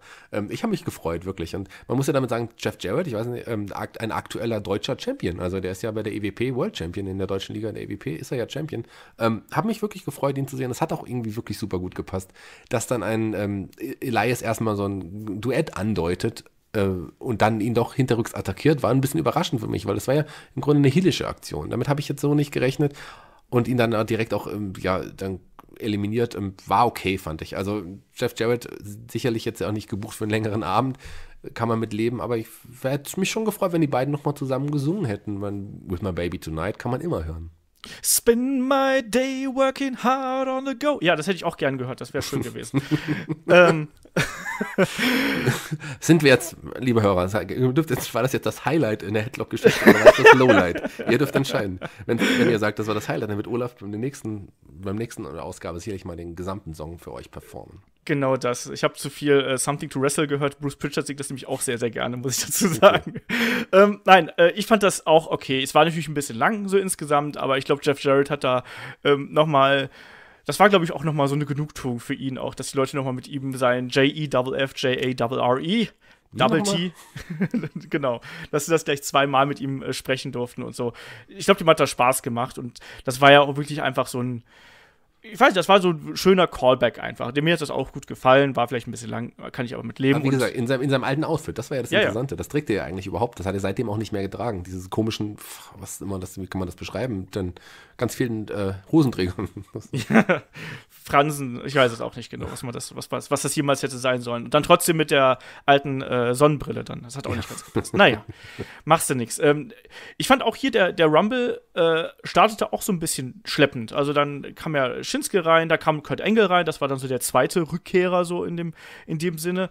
Ähm, aber man hat das Gefühl gehabt, so ja, das plätschert noch so ein bisschen vor sich hin. Also war das bei dir auch so? Ich habe ein bisschen auch hier ein bisschen gebraucht, um wirklich dieses Rumble-Feeling zu bekommen. Ja, ging mir auch so. Also tatsächlich ging mir tatsächlich auch Zumal auch dann so die, die Rückkehrer wie Jeff Jarrett, aber Kurt Engel ja überhaupt keine größere Rolle gespielt haben. Engel wurde ja auch relativ schnell dann von Shinsuke äh, ähm, eliminiert, von, der, von dem ich auch überrascht war, dass ich das ja auch dabei war. Letzten Endes als äh, ehemaliger Sieger vielleicht logisch, aber trotzdem war es überraschend, weil er ja auch am Abend schon ein Match hatte, was er auch gewonnen hat. Also von daher ähm, ist ja nochmal was anderes. Okay, er war halt dabei. Ähm, mit der Nummer 5 kam dann auch ein Big E, der, der erste ähm, auf, äh, seiner Gruppierung, der an dem Abend zum Ring kam. Die sollten ja noch des Häufigeren, sollte man noch die Musik von New Day hören. Ähm, war okay, also es, es, war noch nicht so richtig drin, das hat dann noch ein bisschen gedauert. Aber dann kam ein Johnny Gargano ganz überraschend und das Publikum hat ihn abgefeiert. Auf jeden Fall. Ja, mein klar, der ist ja eine absolute Publikumslieblinge. Die Leute, die da sind, werden auch garantiert äh, NXT verfolgen. Ähm, es war ja generell auch, dass, dass viele Leute von, von äh, NXT auch hier dabei gewesen sind. Also was heißt viele? Es war natürlich äh, Johnny Gargano war dabei, Pete Dunne war dabei, Alistair Black war dabei. Ähm, das ist schon das ist schon okay gewesen. Und ich finde es auch gut, dass man hier die, die Spots so ein bisschen an, an den Nachwuchs quasi gegeben hat, plus äh, No Way Jose. Ähm, also mir, mir, mir das, Hawkins. Ja, genau. Aber mir hat das eigentlich ganz gut gefallen. Auch ein Johnny Gargano hat jetzt keine super dominante Rolle gespielt, sondern ich finde, der erste, der wirklich so einen Ausrufezeichen gesetzt hat, war für mich ein Samoa Joe. War das bei dir auch so? Ja, da ging es dann erst richtig los. Also wir hatten ja vorher noch einen Jinder Mahal, ähm, der relativ schnell auch wieder draußen war. Von den durfte Johnny Gargano eliminieren. Aber Samoa Joe, äh, auch den hat das Publikum abgefeiert. Das war so, der hat, ab Samoa Joe hat, hatte ich dann wieder auch, war ich dann drin im Rumble so ein bisschen. Ob es jetzt bis zum Ende gereicht hat, war, weiß ich, aber bei Samoa Joe war ich auf jeden Fall drin und hat, der, der hat äh, eine gute Rolle abgeliefert und auch seine Geschichte im Rumble erzählt. Ja, eben. Äh, und äh, also ich finde auch, dass er, er wirkte auch einfach durch seine Präsenz und durch die Art und Weise, wie er eben seine Aktionen verkauft, auch einfach wie eine dauerhafte Bedrohung. Und das ist eben auch wichtig, dass du sowas bei einem Rumble im Ring hast, dass du nicht nur das Gefühl hast, so ja, okay, die daddeln da eh nur die ganze Zeit so vor sich hin und schubsen sich ein bisschen in die Seile, sondern dass du wirklich jemanden im Ring hast, bei dem du das Gefühl hast, so ja, der könnte jetzt theoretisch äh, jeden eliminieren, wenn er das wollte. Aber was natürlich jetzt in diesem Rumble finde ich, nicht so dominant gewesen ist. Wir haben schon Rumbles erlebt, wo wirklich dann auch jemand sechs, sieben Leute eliminiert hat. Das hatten wir diesmal nicht. Hast, hat dich das überrascht? Also wir hatten klar einen Drew McIntyre, der mal, ich glaube, zwei Leute eliminiert hat, also Kofi und Xavier dann auf einem Rutsch.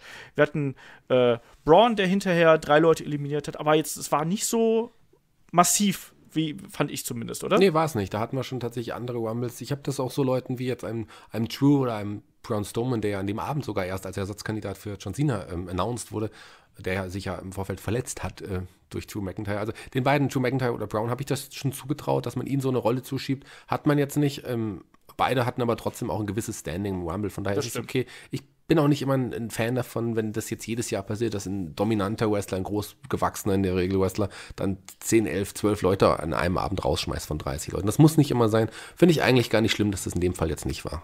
Nee, also wie gesagt, ein Braun hat er dann doch insgesamt, also er hat einmal drei Leute in einem Rutsch quasi rausgeschmissen und dann am Ende natürlich nochmal zwei, kommt da auf fünf. Äh, das ist schon okay, aber er, ich finde, er hat jetzt nicht so diese absolute Dominanz ausgestrahlt, wie das andere Wrestler schon getan haben, muss einfach mal so zu sagen. Generell, Brown sowieso, da kann man ja auch nochmal drüber reden, was er aktuell für ja. eine Rolle inne hat. Also der ist, hat massiv an Standing verloren, ähm, nicht nur im Ring, auch beim Publikum, glaube ich, ein bisschen. Also es ist nicht mehr der, der, der, die, die Zeit, wo er sowas von over war, die ist leider lange vorbei. Ja, auf jeden Fall. Das hat man auch gerade gegen Ende gesehen, wo er ja dann mit äh, Seth Rollins allein im Ring gewesen ist, wo er dann ja die Arme gehoben hat. Also jubelt mir zu, ne, get these hands und eigentlich die Leute haben ihn ausgebuht. So, ja, schade. Du bist abgelöst worden oben an der Spitze als Top Babyface. So ist es. Seth Rollins hast du gerade erwähnt, der kam auch schon als Nummer 10, der war sehr lange im Ring. Aber für mich irgendwie, ich fand, ich habe mich tatsächlich, auch wenn einige für sich verwundert waren, aber über Titus O'Neill gefreut, weil der ja quasi seinen, ja, seinen Slide ange, äh, äh ange, äh, angedeutet hat irgendwie. Und äh, da gab es eine lustige Geschichte mit Kurt Hawkins, Olaf. Ja.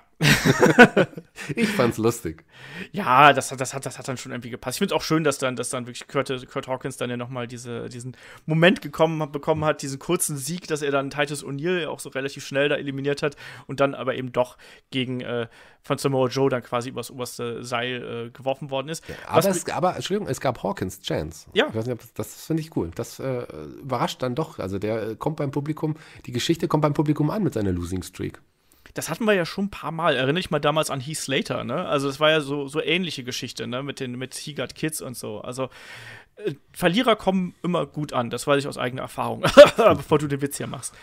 Ähm, wer für mich eine, eine überraschend prägnante Rolle gespielt hat, war Mustafa Ali. Also der hatte wirklich, finde ich, hier nochmal unter Beweis gestellt, dass, äh, dass WWE wirklich große Stücke auf ihn hält, oder? Ja, dem könnte die Zukunft gehören. Sicherlich ist er auch kein großgewachsener, aber der ist schon ein charismatischer Kerl, der vor allem auch bei den jungen Leuten, den jungen Zuschauern richtig gut ankommt. Ich meine, er hat in, an dem Abend ähm, Shinsuke Nakamura eliminiert, das darf man nicht vergessen. Äh, und dann später noch seinen aktuellen Fädengegner Samoa Joe. Das war übrigens der erste richtige äh, What the fuck-Moment in diesem Event, also nicht in diesem Event, aber in diesem Rumble-Match für mich. Also auch gerade wieder Samoa Joe draußen gesessen hat und dieser vollkommen entgeisterte Blick, wie ihn denn der, der Blutschipper äh, Mustafa Ali da eliminieren kann, das fand ich richtig das fand ich toll. Also da hat es mich auch wieder gehabt. Ähm, wie gesagt, wir haben auch noch so Geschichten gehabt mit Kofi Kingston und Xavier, die sich dann da, die dann da so ein bisschen rumeiern dann an der Folge. Wir haben nur No Way Jose gehabt, der einmal, der hat, der hat quasi den, den Luke gemacht. Der ist einmal in den Ring rein, ist dann wieder rausgeflogen und hat dann weitergefeiert. Aber das war tatsächlich, das ist tatsächlich eine Anlehnung an, an den alten ja, Bushwacker ja. Luke-Spot irgendwie, der ja auch zum Ring ja mit diesen typischen Armbewegungen gekommen ist und dann direkt raus und dann einfach weiter. Hier hat es nicht ganz so funktioniert, aber es war okay, sagen wir es mal so. Es war schon ein witziger Moment, ob man jetzt No Way Jose im Rumble braucht oder nicht, ist dann natürlich eine andere Frage. Aber das war schon ganz cool. Aber was vorher noch ganz interessant war, Entschuldigung, äh, Dean Ambrose Rolle in dem Royal Rumble. Welche? Ja, eben. Der war da und wurde von Johnny Gargano eliminiert. Also ähm, Dean Ambrose, der vor kurzem noch der Top-Heel möglicherweise äh, war bei War, äh, der ist jetzt im Niemandsland angekommen. Oder? Hat man mit was? Mit nee, du, du, äh, hat, äh, er hat Johnny Gargano eliminiert. Ver ja, vertue ich mich jetzt da? Er hat Johnny Gargano, so, Ach so, okay. gesagt. Dass Aber er von ihm eliminiert wurde. Genau, ansonsten hat er ja nun wirklich nicht viel im Ring irgendwie gemacht. Also nee. der war ja auch nicht so lange da und hat überhaupt keine Rolle gespielt. Also von daher, Dean Ambrose, äh, mit dem hat man, weiß, der kommt, der connectet auch nicht mehr, mit dem weiß man aktuell auch nicht mehr, was man so anfangen soll. Leider. Also, oder auch zum Glück, ich kann mit ihm auch aktuell auch gar nichts mehr anfangen. Für mich ist er so der uninteressanteste Charakter in, von den wichtigeren Leuten. Ja, genau, so sehe ich es halt eben auch. Also da haben wir ja auch schon mal drüber gesprochen. Der war wirklich nur zwei Wochen interessant, als er wieder zurückgekommen ist. Du hast auch gemerkt, als die Musik ertönt ist, diese komische Sirene. Ich sag's nochmal: hm. Sirenen als Entrance-Team, keine gute Idee. In neun von zehn Fällen funktioniert es nicht. Und der zehnte Fall ist natürlich dann Scott Steiner. Genau das. ähm, ja, und im Endeffekt ist er ja dann später, was ich wiederum ziemlich geil fand, äh, von Alistair Black rausge rausgeschossen worden, wirklich. Also mit der Black Mass. Ja. Äh, und, und wie, wie, war denn deine Gefühlslage, als du dann äh, einen Alistair Black gesehen hast? Ich habe mich sehr, sehr gefreut tatsächlich. Also vorher kam ja noch Pete Dunn. Ähm, genau. Da, da habe ich mich auch schon total gefreut. Andrade also ich auch gerne. Paulo Cruz war, war da. Ähm, aber über Lester Black so, so mit, äh, da habe ich mit, mit am meisten gefreut, dass, ich, dass der dabei war. Ich, das äh, hat man ihm auch angesehen, dass ihm das richtig Spaß gemacht hat. Er hat jetzt auch keine so große Rolle gespielt, aber durfte sich schon mal vom größeren WWE-Universum zeigen. Und ähm, dem gehört ganz bestimmt die Zukunft. Und hier hat er jetzt kein großes Ausrufezeichen gesetzt, aber ähm, er hat zumindest äh, eine gute Rolle gespielt. Ja, das gilt eigentlich für, gilt halt für beide, also sowohl für Alistair als auch für, für Pete Dunn. Ich habe mich einfach riesig drüber gefreut. Ich fand auch die Spots, die beide gehabt haben. Also Pete Dunn hat ja diverse Fingerbrech-Geschichten äh, gehabt. Äh, Alistair Black hatte diesen, diese coole Aktion dann gegen, äh, gegen äh, Dean Ambrose. Die fand ich auch echt toll. Wie, wie, gesagt, wo er ihn wirklich mit der, mit der Black Mass rausgeschossen hat.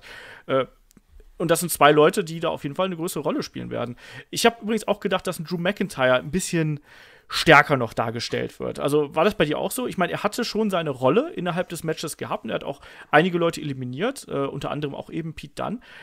Aber irgendwie, weiß ich nicht, Ja, so habe ich mehr erwartet. Genau, äh, geht mir auch so. Also von dem habe ich tatsächlich mehr erwartet. Man hat ja das Gefühl, dass man auf ihn irgendwie so ein bisschen baut in Zukunft, dass er auf jeden Fall ein Topstar sein kann, der der Main Event der Region ähm, ja dann äh, immer mitspielen wird, aber hier hat man es nicht so richtig gezeigt. Klar, der war ein großer Name und, und die Kommentatoren haben ihn auch overgebracht und man erwartet ja auch ein Match gegen John Cena möglicherweise WrestleMania, aber hier so äh, wurde eher nochmal die Geschichte mit dem überraschend zurückkehrenden Dolph irgendwie aufgegriffen. Hat das jemanden interessiert, dass Dolph Ziggler wieder zurück ist? Also ich dachte mir so, okay, jetzt ist er wieder zurück. Oh, schon wieder. Ne, Ja, und die WWE hat ja eine große, große Überraschung versprochen, hat man. Ja, aber dann schießt er auch noch Drew McIntyre raus, so. Holter die Polter. Was, ich hab was, was ist denn das? Also, ja, man hört ja auch, ähm, versucht alle Wrestler irgendwie momentan zufriedenzustellen und jemand wie Dolph wäre sicherlich vielleicht kein großer Verlust für die WWE, aber sicherlich eine Bereicherung für All Elite Wrestling. Ja. Wer mich aber auch überrascht hat, aber das optisch tatsächlich, äh, ein anderes Thema ist Shelton Benjamin. Was ist denn mit äh, dem passiert? Der hat ja auch an Muskelmasse deutlich zugelegt, oder kommt mir das nur so vor? Oder sieht es in den letzten Wochen schon so aus? Ich, äh, es, sieht, es sah auf jeden Fall auch so aus. Vielleicht lag es an den neuen Hosen. ich weiß es nicht. Keine Ahnung, aber es sah auf jeden Fall so aus. Wir hatten dann noch Leute wie einen Baron Corbin natürlich drin, Jeff Hardy, Rey Mysterio. Ich war auch überrascht, dass ein Bobby Lashley quasi reinkam und sofort wieder raus war. Und dann gab es ja dieses Segment mit Seth Rollins. Und ab dem Punkt war für mich klar, okay, Seth Rollins gewinnt das Ding. War bei dir auch so? War, war tatsächlich auch so. Also, ähm, das ist auch so ein bisschen typisch irgendwie so gewesen, den, den Wrestler draußen zu attackieren, dass er erstmal eine Zeit draußen liegen muss und nicht zum Ring kommen kann und dann am Ende tatsächlich siegreich hervorgeht. Haben wir ja in verschiedenen Varianten des Öfteren auch schon gesehen. Aber ähm, war okay. Also, ich meine, der wird sicherlich jetzt noch ein kleines Programm mit, mit, ähm, mit Bobby Lashley haben, Seth Rollins, bevor es dann äh, bei WrestleMania um den Titel gehen wird, den er dann hoffentlich auch gewinnen wird. Ja. Wie gesagt, das hat für mich so ein bisschen die, die Spannung aus dem Match genommen. Generell äh, fand ich das dann äh, ein bisschen merkwürdig, dass wir in der Schlussphase gleich zwei Leute hatten, die draußen K.O. rumlagen, weil dann hat man auch Braun Strowman irgendwie aus dem Match genommen, der dann ja gegen den Ringpfosten gelaufen ist. Weiß ich nicht, ist es, dann hast du den Top 4 und von, und auf, also zuerst hast du nur eine Top 2 quasi, dann, äh, wir, wir sprechen gleich noch über das Nia Jax-Segment, aber wenn wir gerade schon dabei sind, wir hatten wir dann auf einmal Andrade und Dolph und auf einmal fällt einem dann auf, ach nee, da liegen ja noch zwei draußen rum, so. Weiß ich nicht. Fand, das fand ich merkwürdige Art und Weise, quasi hier Braun und äh, Seth aus dem, aus dem Feuer zu nehmen. Fand ich ein bisschen komisch. Ja, Shaggy, wir müssen noch über die äh, Akte Nia Jax sprechen, weil da wird auch online sehr viel dr- drüber diskutiert. Wir können es ja kurz aufrollen. Wir wissen, äh, Nummer 30 sollte eigentlich an R-Truth gehen. Ähm, der machte seinen, äh, seinen Entrance-Song und äh, sang im, im Entrance-Bereich und dann kam Nia Jax raus und hat ihn dann hinterrücks attackiert und hat ihn zusammengeschlagen und äh, hat sich dann einfach ohne Einwilligung übrigens, hat nicht den Herrn Finlay oder irgendjemand anderes gefragt, äh, hat sie sich den Spot gesch- gekrallt hier. Und wir haben, du hast gerade schon gesagt, du bist kein großer Freund von Nia Jax. Wie fandest du hier diese Geschichte? Na, erstmal zu, kurz zu R-Truth nochmal. Ähm, also ich glaube, wer hat denn wirklich geglaubt, dass R-Truth als Nummer 30 zum Rumble kommen wird und da auch dabei bleiben wird? Niemand, oder? Ja. Das, das hat niemand geglaubt. Also es war schon im Vorfeld klar, dass ihn jemand attackieren wird, wahrscheinlich, und äh, dessen Spot dann einnimmt. Äh, ja, die größte Überraschung ist wahrscheinlich, dass es Nia Jax ist oder gewesen ist. Ähm, ja, kann man so machen. Ich finde es jetzt, also es haben tatsächlich einige äh, ja, sich darüber sehr, sehr aufgeregt, dass es unbedingt Nia Jax sein musste, aber war, war doch schon irgendwie was anderes mal, was Besonderes. Sie war die erste, die dritte Frau, die beim Wender Rumble mitgemacht hat und, glaube ich, die einzige Person überhaupt im Wrestling bisher, die an einem Abend an zwei Rumbles teilgenommen hat. Warum denn auch nicht? Ja, also mir hat es auch nicht wehgetan tatsächlich. Also ich weiß, dass sich da ganz viele aus diversen Gründen drüber aufgeregt haben. Zugleich habe ich ganz oft Mails gelesen, äh, auch bekommen teilweise, wo Leute gesagt haben, Mensch, wäre es nicht total cool, wenn Becky jetzt die Nummer 30 sich krallen würde und so. Ähm, und jetzt plötzlich ist das doof, weil es Naya macht. Ähm, ich finde, das hat hier eigentlich ganz gut zu ihrer Person gepasst, also zu der, zu der Charaktere, die sie da verkörpert. Ich finde, das äh, war in der Durchführung äh, absolut in Ordnung. Ne? Eine Art Truth verliert nichts, weil der hat nichts zu verlieren in irgendeiner Art und Weise. Und, und, äh, und zu Nanaya passt das irgendwie. Ne? Und also die, die absurdesten Sachen, die ich ja gelesen habe, war, Mensch, alle, die das gut finden, die rechtfertigen Gewalt gegen Frauen, Shaggy. Ja, finde ich, äh, man muss dann, also man schlägt keine Frauen, es hat einen Grund. Wenn das Essen nicht mehr warm ist oder so, keine Ahnung. Nein, natürlich, bitte nicht ernst nehmen. Olaf, nicht das rausstellen und ich wollte gerade sagen, ich schneide es einfach dann so, dass es passt, Shaggy, keine Sorge. ähm, Ja, also das ist Wrestling. So, das, ja. das, das gibt es das häufiger. Das, das gab es schon immer. Es gibt ja auch Matches Frauen gegen, gegen, gegen Männer. Das ist schon okay. Und das ist auch, ähm, ich bin jetzt nicht unbedingt Fan davon, dass Nia Jax einen Mustafa Ali äh, dann eliminieren durfte der bis dato wirklich eine gute, sehr, sehr gute Rolle im Rumble gespielt hat, sehr prominent eingesetzt wurde. Das hätte nicht sein müssen. Aber es war doch schon, das Publikum hat es gefeiert, als Nia Jax dann 619 und einen Superkick von Dolph und dann auch am Ende noch eine AKO ähm, abbekommen hat. Das war schon okay, das kann man so machen. Das, und sie hat ja vorher auch genug ausgeteilt, muss man ja. mal, mal, dazu sagen. Also sie ist ja nicht jetzt da reingekommen und die, die Männer haben sie einfach verprügelt, sondern sie ist ja wirklich auch als, als valider Gegner quasi äh, dargestellt worden. Und insofern, mein Gott, äh, das ist Sports Entertainment. Im Film wird sich auch niemand drüber beschweren, wenn, äh, war es nicht auch bei Fast and Furious, wo irgendwie Ronda Rousey irgendwelche Typen verdroschen hat und solche Geschichten. Ronda Rousey kann, darf das ja auch oder kann das ja auch. Die, die ist ja so eine tough, tough Frau. Naja, aber ich, kann man schon machen. Und ein Rey Mysterio, der ist ja körperlich einer Nia Jax ja sogar sogar unterlegen. Also das hat man ja ganz deutlich gesehen. Man hat ja jetzt nicht hier eine äh, Katie Candice oder, oder eine Selina Vega rausgebracht und die Männer weltdominiert, sondern eine Frau, die äh, auch deutlich äh, körperlich mit den Männern mithalten kann. Von daher finde ich es vollkommen okay und es passt zu ihrem Charakter. Ja, bin ich auch bei dir. Und, und ich bin gar kein Nia Jax-Fan. Also ich mag sie wirklich eigentlich aktuell gar nicht, aber ich finde das jetzt nicht schlimm, dass sie hier dabei war tatsächlich. Ja, ich, wie gesagt, ich glaube, da, da äh, ist bei manchen also ich, ich glaube, das sollte man nicht zu sehr überbewerten und auch nicht zu sehr überdramatisieren in allen Bereichen. Also dadurch hat die Nummer 30 jetzt nicht an Bedeutung verloren in irgendeiner Art und Weise. Äh, dadurch, dadurch geht auch, äh, weiß ich nicht, die Frauenbewegung nicht unter oder sonst irgendwas und das Wrestling erst recht nicht. Ich fand, das war auch absolut in Ordnung. Wir haben, wir haben auch schon, wir haben eine China in einem Rumble gesehen. Es war übrigens die vierte Frau. China, Karma und äh, Ach, das Phoenix. Ich habe Karma vergessen. Stimmt. Ja, die vierte Frau. Ja. ja Sorry warum denn nicht? Also das, ich finde dafür, für solche äh, Geschichten ist auch mal ein Rumble da. Ich glaube, wenn das eine, eine Becky gewesen wäre und die am Ende vielleicht sogar gewonnen hätte, hätten äh, wäre das Internet Ape-Shit gegangen und hätte gesagt, mein Gott, was eine geile Idee und so, das ist ja mal innovativ und das und so weiter und so die fort. Die ist ja the man. Genau. so. Ja, aber klar, da hätte es auch Kritiken gegeben, aber sicherlich wären die kritischen Stimmen weitaus äh, leiser gewesen, als es jetzt bei Nia Jax sind, weil man Eben, die einfach deswegen. auch nicht mag. Aber okay, ich finde es nicht schlimm. Man hätte sicherlich noch eine größere Überraschung bringen können, aber wollte man jetzt nicht oder konnte man zu dem Zeitpunkt nicht. Von daher finde ich, kann ich mit Nia Jax ganz gut leben. Ähm, das mit dem Finale des, des, des Männer Rumbles zwischen Brown und, und Seth, na ja, sag ich mal, ähm, ja. Dafür, dass jetzt dann, weiß ich nicht, gefühlt eine halbe Stunde auf dem Ring lag und dann plötzlich wieder da war, äh, weiß ich nicht so recht. Finde gut, dass er gewonnen hat, weil ich glaube, das, der kommt beim Publikum richtig gut an und das ist auch so jemand, den man auch an die Main Event Position und äh, dem Titel auch geben kann. Das ist jemand, dem, dem man den Sieg gegen Bock geben darf und vielleicht muss. Äh, von daher finde ich es ganz gut, dass er gewonnen hat, aber das Finale hat mich nicht so richtig überzeugt. Und ein Brown, der ist jetzt eigentlich nicht mehr wirklich mehr als, ein, als es ein Big Show zeitweise war. Das war ja auch tatsächlich, ich musste ja ganz stark bei, bei dem Finale dann an, an Big Show gegen Chris Benoit damals denken. Das war ja da auch dran angelehnt. Also gerade diese Aktion, wo dann äh, Seth äh, draußen stand und äh, Braun dann quasi ja mit dem, äh, mit dem Front äh, Facelock quasi über das Top Rope gezogen hat. Das war ja dieser Spot quasi. Und dann, klar, gab es dann noch den Curbstorm am Ende, damit äh, Braun noch endgültig raus ist. Aber ja, es war jetzt nicht viel mehr. Und Braun ist ich habe es ich hab's ja im, äh, im Ausblick ja schon angekündigt. Also für mich wird Braun einer der Leute werden, die in diesem Jahr auf jeden Fall nicht den Champion-Titel gewinnen in irgendeiner Art und Weise, sondern der ist einer von denen, da hat man jetzt, glaube ich, endgültig den Punkt verpasst. Und klar wird man den noch mal äh, wieder aufbauen und so und der wird auch noch mal um den Titel mitstreiten, aber ich halte den momentan für einen der ganz, ganz großen Verlierer der letzten 10, 12, 14 Monate irgendwie. Und das hat, hat sich hier eigentlich nur wieder bestätigt. Klar durfte der dann irgendwie einige Leute äh, eliminieren und er war unter den letzten Zweien, aber einen bleibenden Eindruck hat er jetzt nicht hinterlassen und am Ende geht er dann doch nur mit dem, äh, weiß ich nicht, mit der Teilnahmeurkunde nach Hause. So. Also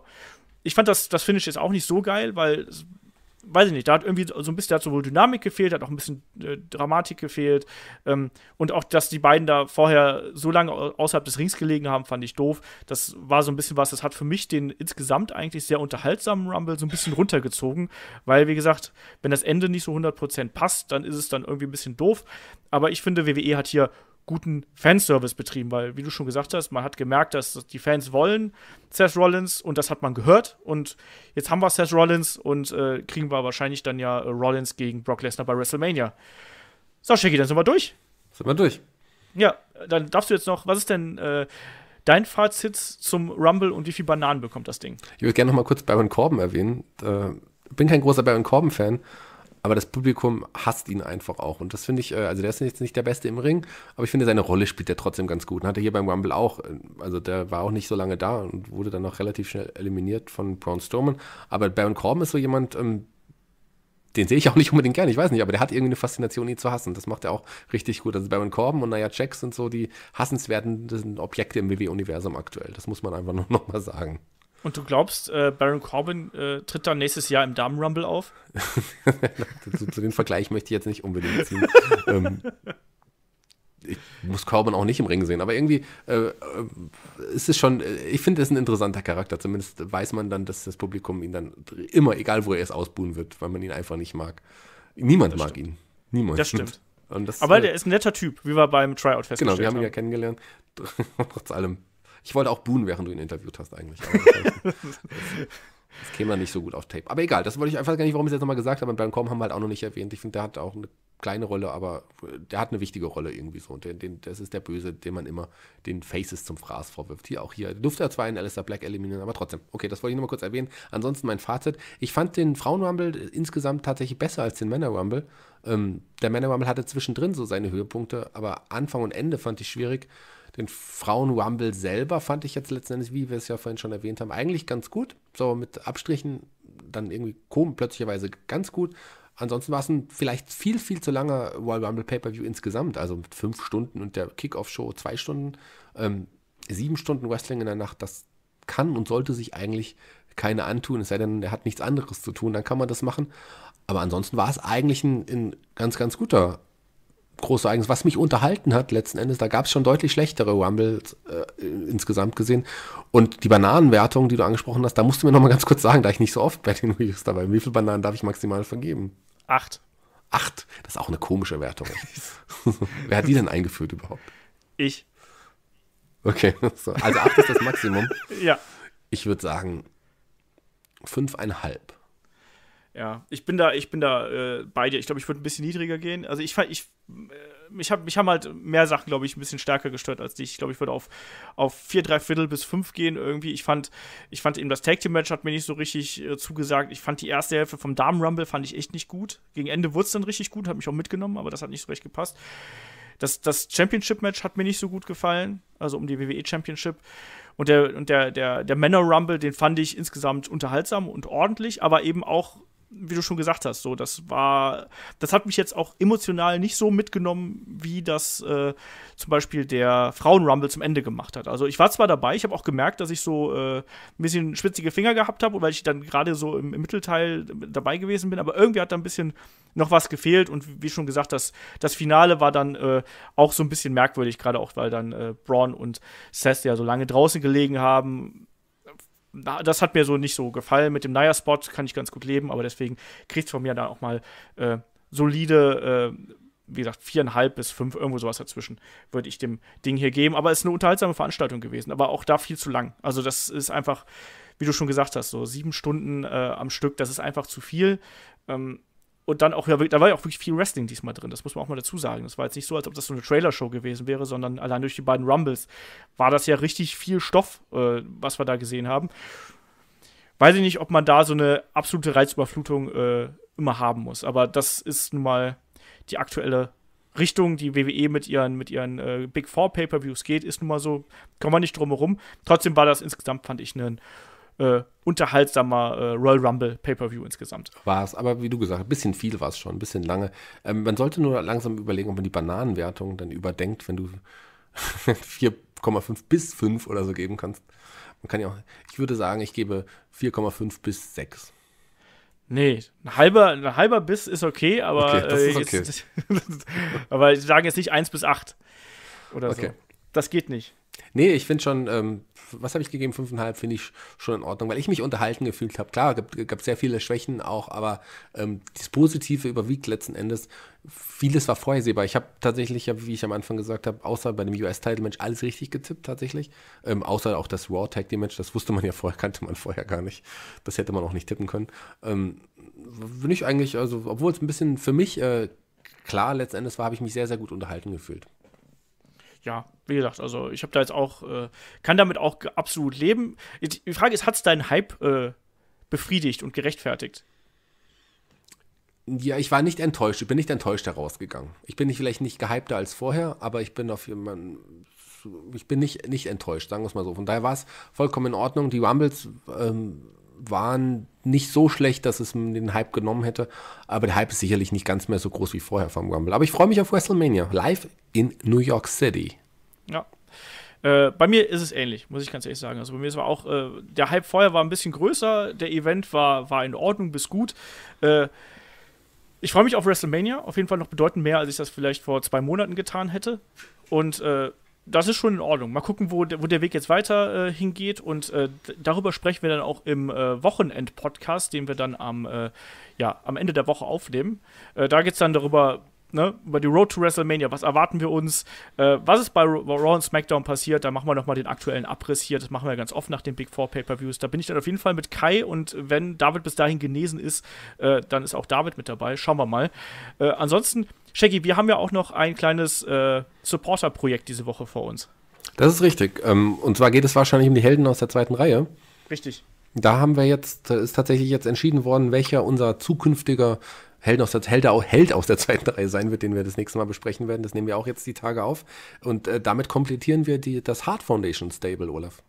Genau, dann wird es nämlich äh, gegen Ende der Woche, also wahrscheinlich am Donnerstagabend, werde ich es dann online stellen. Da gibt es dann äh, das Porträt zu Davy Boy Smith, den British Bulldog. Also da habt ihr, äh, wir haben gelost, wir haben, ihr habt abgestimmt und äh, das war äh, eine, eine eurer Lieblingsnamen, die da immer wieder gefallen ist. Und da haben wir gedacht, dann nehmen wir doch den. Ähm, ich bin ich freue mich darüber, ehrlich gesagt. Eig ich freue mich da auch, aber eigentlich ist es ja Savio Vega geworden, aber letzten Endes ähm, habe ich gedacht, ach nee, Savio Vega, das interessiert mich nicht, über den möchte ich nicht sprechen, da haben wir uns, nein, Quatsch. Ihr wolltet ja nicht Savio Vega, ihr Hörer. Und deswegen genau. haben wir uns, deswegen ist es der, tatsächlich der British Bulldog geworden. Aber über den freue ich mich auch. Und der Olaf ist ja auch so ein kleiner Fan, der ja auch tatsächlich mal die gleiche Frisur hatte wie der British Bulldog, als er noch seine Rasterzüpfchen hatte. genau. Das äh, trage ich heute noch hin und wieder mal. So. Um Leute irgendwie übel aufzustoßen. Ich stelle mir das gerade vor. Olaf, äh, bevor wir uns jetzt von den ähm, ja, unseren Hörern verabschieden, möchte ich, dass du nochmal bitte den With My Baby Tonight Song nochmal am Ende performst. Das wollen alle hören, glaub mir. Und damit sage ich jetzt schon mal Tschüss. Äh, ihr wisst, wie ihr uns unterstützen könnt. Wir haben es schon gesagt bei Patreon und Steady. Macht das mal. Ansonsten, Olaf, die, ähm, die letzten Gesangs, äh, ja, der, der, der letzte Song gehört dir. Shaggy, du weißt doch, äh, den, die volle Version von With My Baby Tonight gibt es nur für Supporter auf äh, Patreon und Steady. Nein, ich werde es nicht mehr singen. Ähm, das habe ich heute schon genug getan. Und äh, auf jeden Fall schaut gerne natürlich jetzt an, zum Wochenende wieder rein. Schaut auch gerne dann unter der Woche bei Patreon und Steady vorbei wegen den Helden. Und in dem Sinne sage ich, äh, bis zum nächsten Mal. Macht's bis, gut. Tschüss. Ich sage auch Tschüss und ich sag mal so, wenn Olaf die Hörer lieben würde, mögen würde, dann würde er nochmal singen. Aber so ist er halt, der Olaf. Bis zum nächsten Mal.